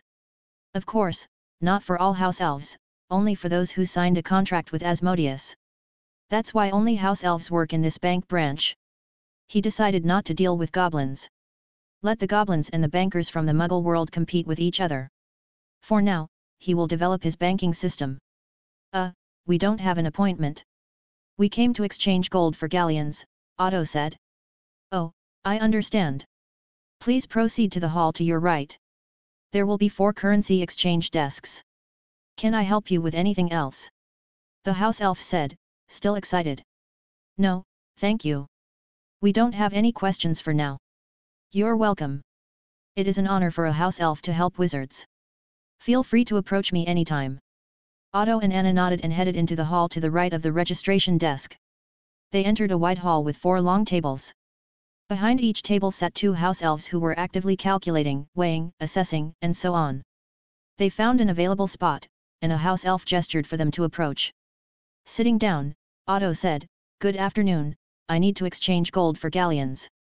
Good afternoon, respected wizard. How much gold do you have, approximately by weight? The house elf asked. I brought 500 grams of pure 999 gold with me. These were Otto's savings from the past year, he had initially planned to spend them on a trip to Bali. Then I can give you 6,580 galleons. You can check the exchange rate in other banks, but I can assure you that we have the best exchange rate in the entire magical world. Proudly stated the house elf, who clearly held himself in higher regard than other house elves they had seen. I know you have a good exchange rate. I agree to this exchange, Otto replied. The house elf nodded and opened a drawer in the table, from which a voice emanated, How much? 6,580, and a bag with the undetectable extension charm on it, replied the elf. Ah, bloodsuckers! Grumbled the voice, and a pouch with money was spat out. This alchemical creature, accidentally created by Nicholas, was essentially a living box, but to put it mildly, it was quite greedy. Taking the pouch with money in hand, the elf placed it on magical scales, which immediately determined the amount of money in the bag. Ensuring everything was in order, the elf opened another box containing stacks of documents, reminiscent of Muggle checks. Handing Otto a form for completing the currency purchase agreement, the elf inquired, Mister, do you have any form of identification? Muggle documents are acceptable. Otto nodded and handed over his driver's license. The sound of a pen writing on paper was heard. 6580. Otto Nelson, mumbled the elf to himself. Finishing writing, he snapped his fingers, and an identical copy of the form appeared to the right of the original. Handing the original to Otto, the house elf said, Thank you for using our services. I would like to offer you the opportunity to open an account with us. By becoming a client of our bank, you will receive our Astra card. If you deposit more than 5,000 galleons, we will also offer you a 6.18% annual interest rate. Otto was surprised by such a high percentage but decided to ask, what does the Astra card offer? Oh, many things. Firstly, you can make purchases in the city of Adastra and all establishments owned by the Morningstar family using the card, and you won't have to carry a large sum with you. Additionally, the ticket price for passing through the portal to the village of Adastra from any gate-equipped point in the world will be reduced from one galleon to one sickle. Also, in the case of limited sales of Mr. Morningstar's research results, you will be in the first group of interest. Alright, let's deposit 5,000 galleons into the account. I hope I'll have enough for purchases today with the remaining 1580, Otto said. You don't need to worry about that. The average salary in the magical world today is 100 galleons per month. In fact, muggle wizards and squibs who have become wizards are now considered a wealthy group among wizards. If you're not buying a vehicle or real estate, it will be difficult for you to spend more than 200 galleons at a time, explained the house elf. Okay, then let's deposit 5,500 into the account. I'll leave the rest in cash. Five minutes later, Otto rejoined Anna, who was waiting on the couch with the card in his hands. It was a black card with a gold border, the name Otto Nelson written in the middle, and the number 5. The number indicated the client's level, with a total of 7 levels. Accumulating more than 5,000 allowed the client to advance to the fifth level. Wow, what's this? Anna asked. That's what Wizarding Bank cards look like, Otto said, boasting but before he could celebrate, Anna snatched the card from his hands and tucked it into her chest pocket. It definitely won't get lost, and you won't spend all the money, she said. Otto's heart was broken, but then he remembered a good thing. The card was linked to him through blood. Anna couldn't spend the money without him. Haha, I love magic. Having finished their business at the bank, Otto and Anna stepped back onto the street. Dear, turn right there. That's the beginning of the shopping street. Let's go quickly, Anna said, pulling Otto along. Chapter 48, Omnis Trading Street. Wow, how beautiful! Anna exclaimed excitedly, paying no mind to the curious glances from passers-by. Otto, found himself pleasantly surprised. While the village had always possessed a certain beauty, it used to be half empty, lacking liveliness. Now, they see stretched an incredibly long street, its end unseen. As they glanced around, sharp towers emerged behind houses like mushrooms after rain. A broad pedestrian path, paved with stones, led the way. The houses and shops showcased traditional Germanic architecture with a touch of modern flair. Various goods were displayed for sale, peculiar creatures, herbs, brooms, cauldrons, and even ordinary food items. Numerous people, clad in diverse attire, filled the scene. Some wore everyday modern clothing, while others resembled druids fresh from the forest, adorned with plants and tree bark. Nearby stood a plump woman wrapped in a red woolen garment. In the distance, the voices of merchants and customers echoed. Come closer, new Puffskein litter. Approach and acquire an adorable pet for yourself. Only 5 galleons. Nifflers for sale. The latest litter of the best household creature for passive income. Come and purchase these youngsters, they tame well. Fire crab for sale, just arrived from Fiji, don't pass by. Licensed for breeding, fire crab with all the paperwork.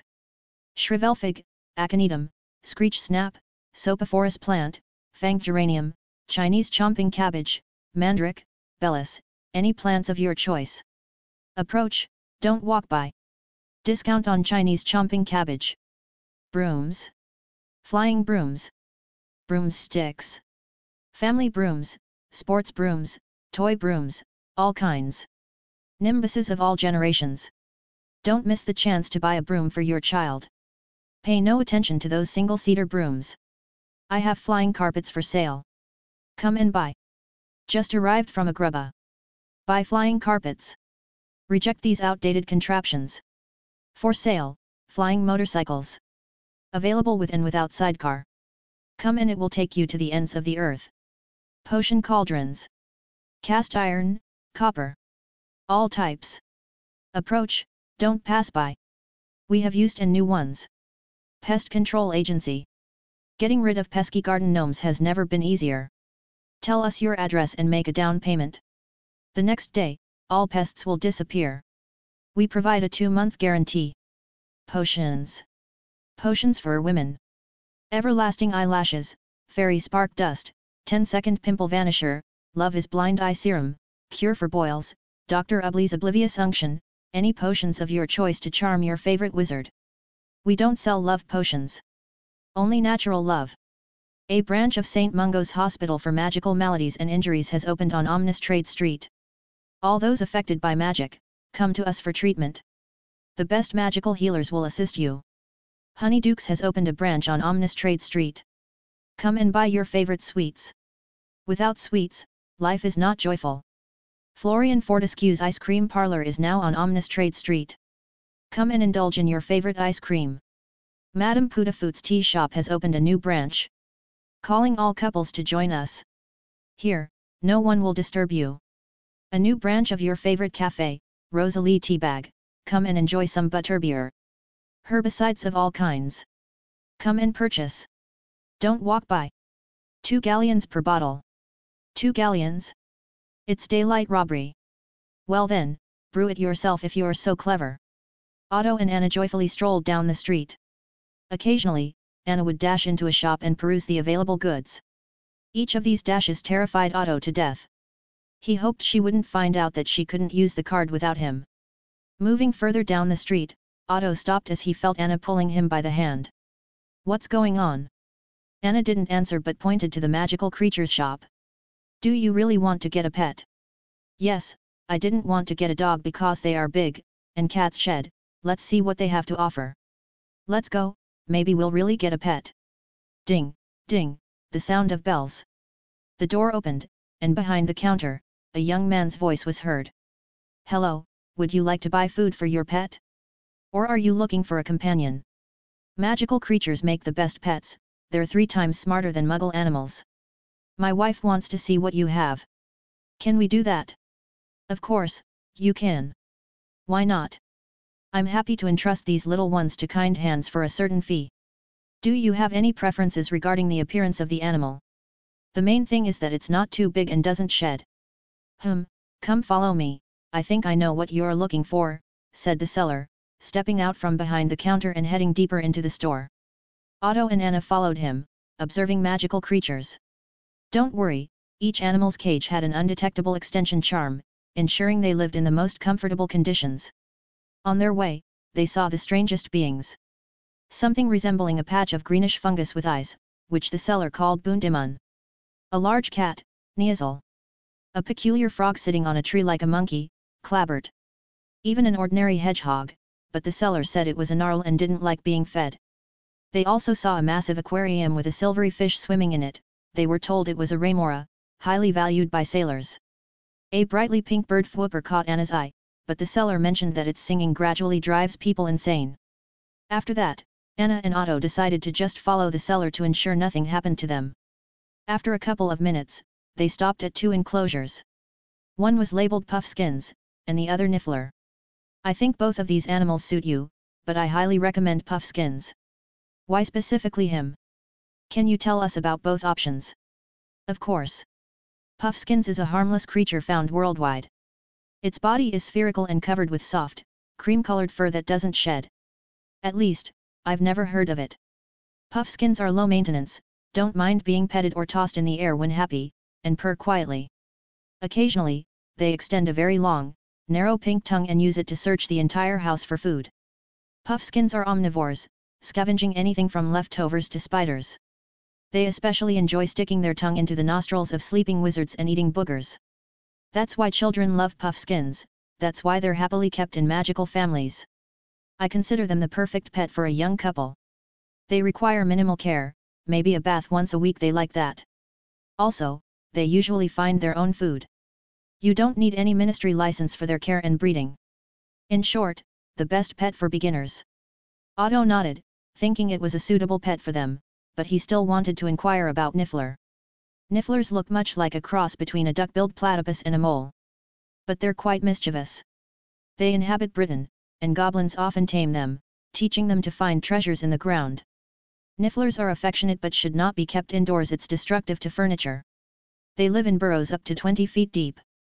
So, if you don't have a separate piece of land and aren't prepared for valuable items to disappear constantly, I don't recommend taking one. They are usually bought by wealthy wizards with large homes and gardens or treasure hunters. Weighing the pros and cons, Anna and Otto decided that the seller was right. Puffskeins would be more suitable for them. So Otto said, Can you open the cage? We want to choose the one we like the most. Yes, of course. After Anna petted all the puffskeins in the enclosure, she wanted to buy all of them. Otto, however, thought it was going too far. Let's just take this one. It was the first to climb onto your hands, and it has a beautiful heart-shaped pattern on its belly. While Anna didn't want to leave all the puffskeins, she understood that they couldn't keep 30 of them immediately. You might think she's spoiled, but she just sometimes likes being a little girl that Otto persuades it makes her feel like a princess. Yes, let's take this one, it's so soft, oh oh. Puffskein, Omega. Alright, how much does it cost?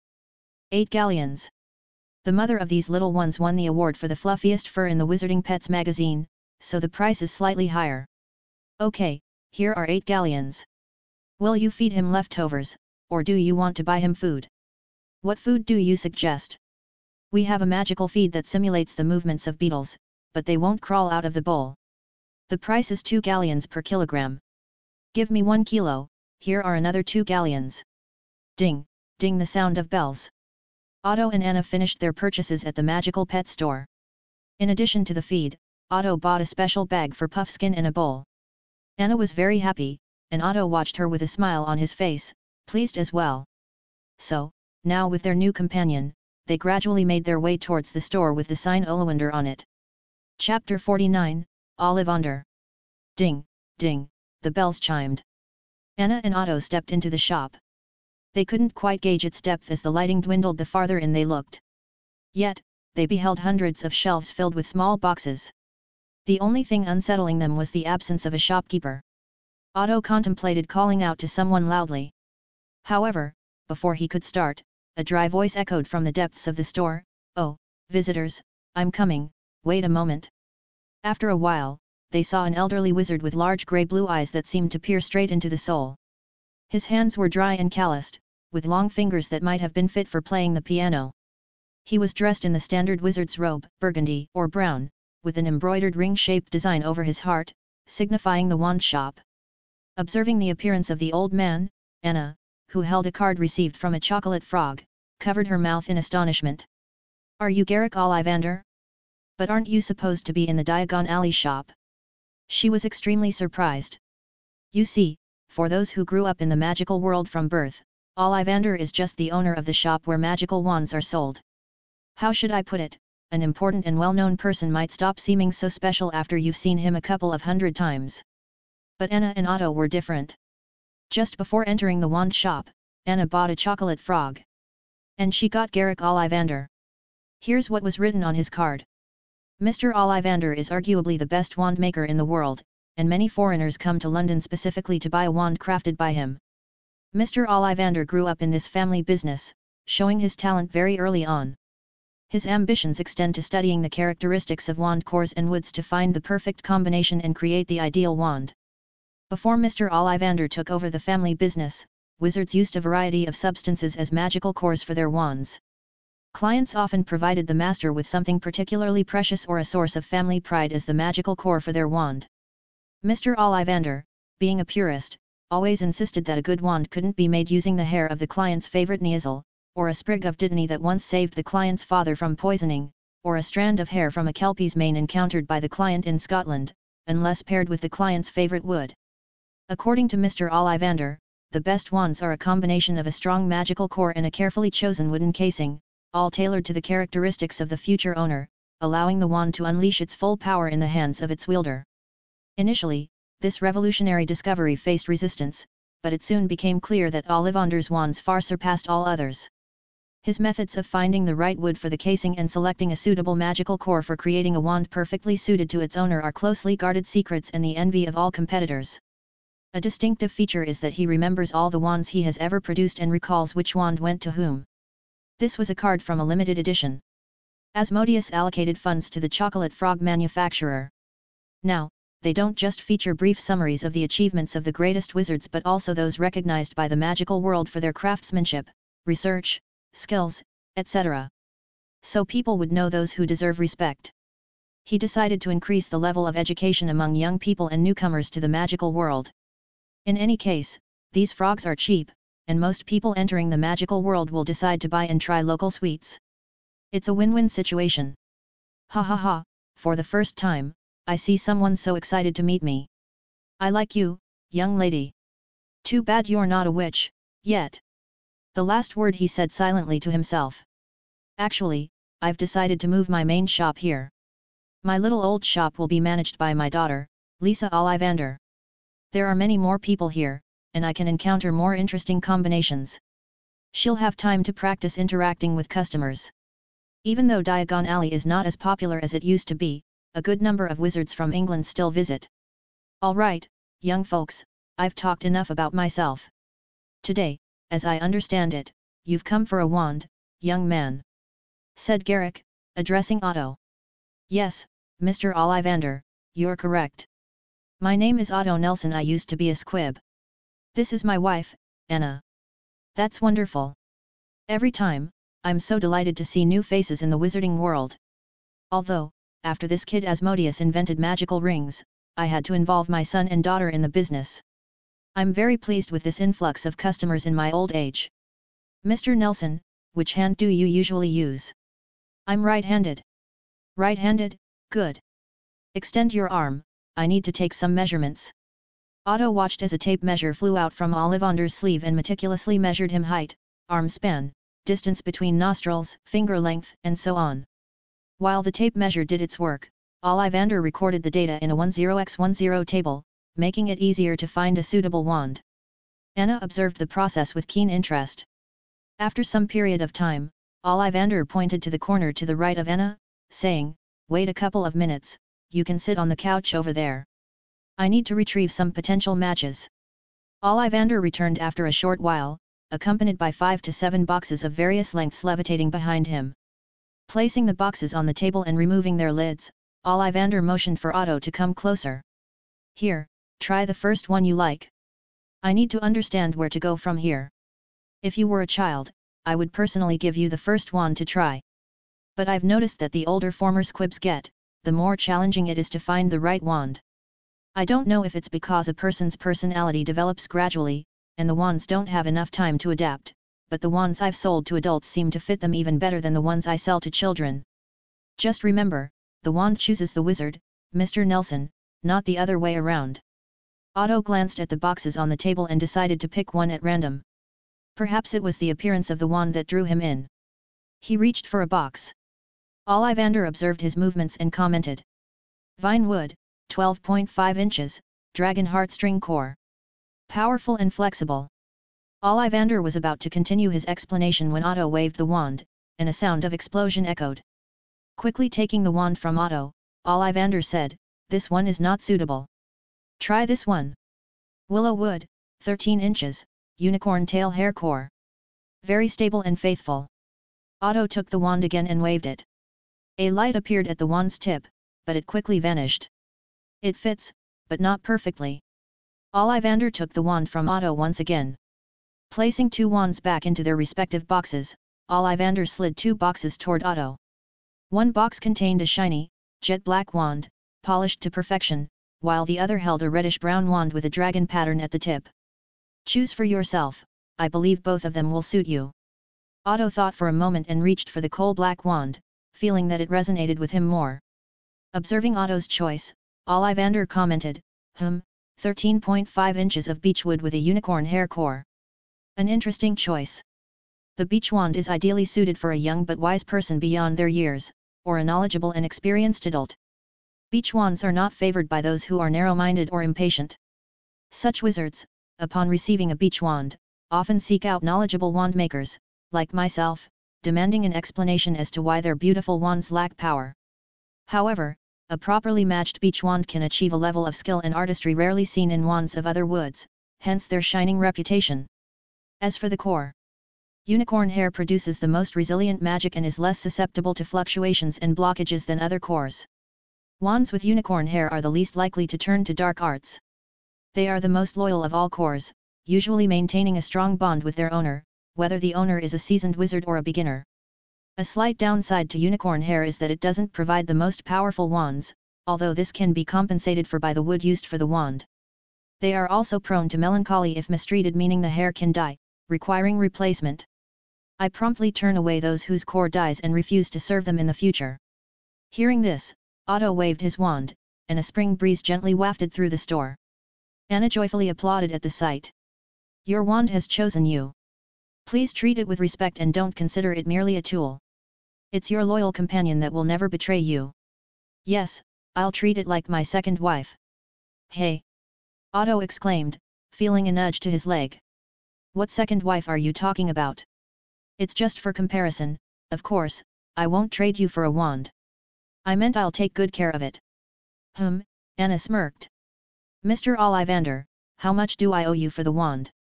45 galleons for sincerity. Would you like to buy a set of oils and brushes for wand care?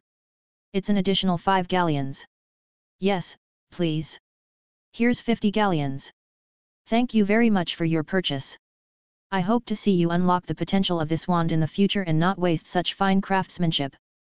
Don't worry, I won't disappoint. Thanks again. You're welcome. After bidding farewell to Ollivander, Otto and Anna headed towards the door, but before they reached the door they heard. Ding, ding, sound of the bells ringing. Thanks for listening.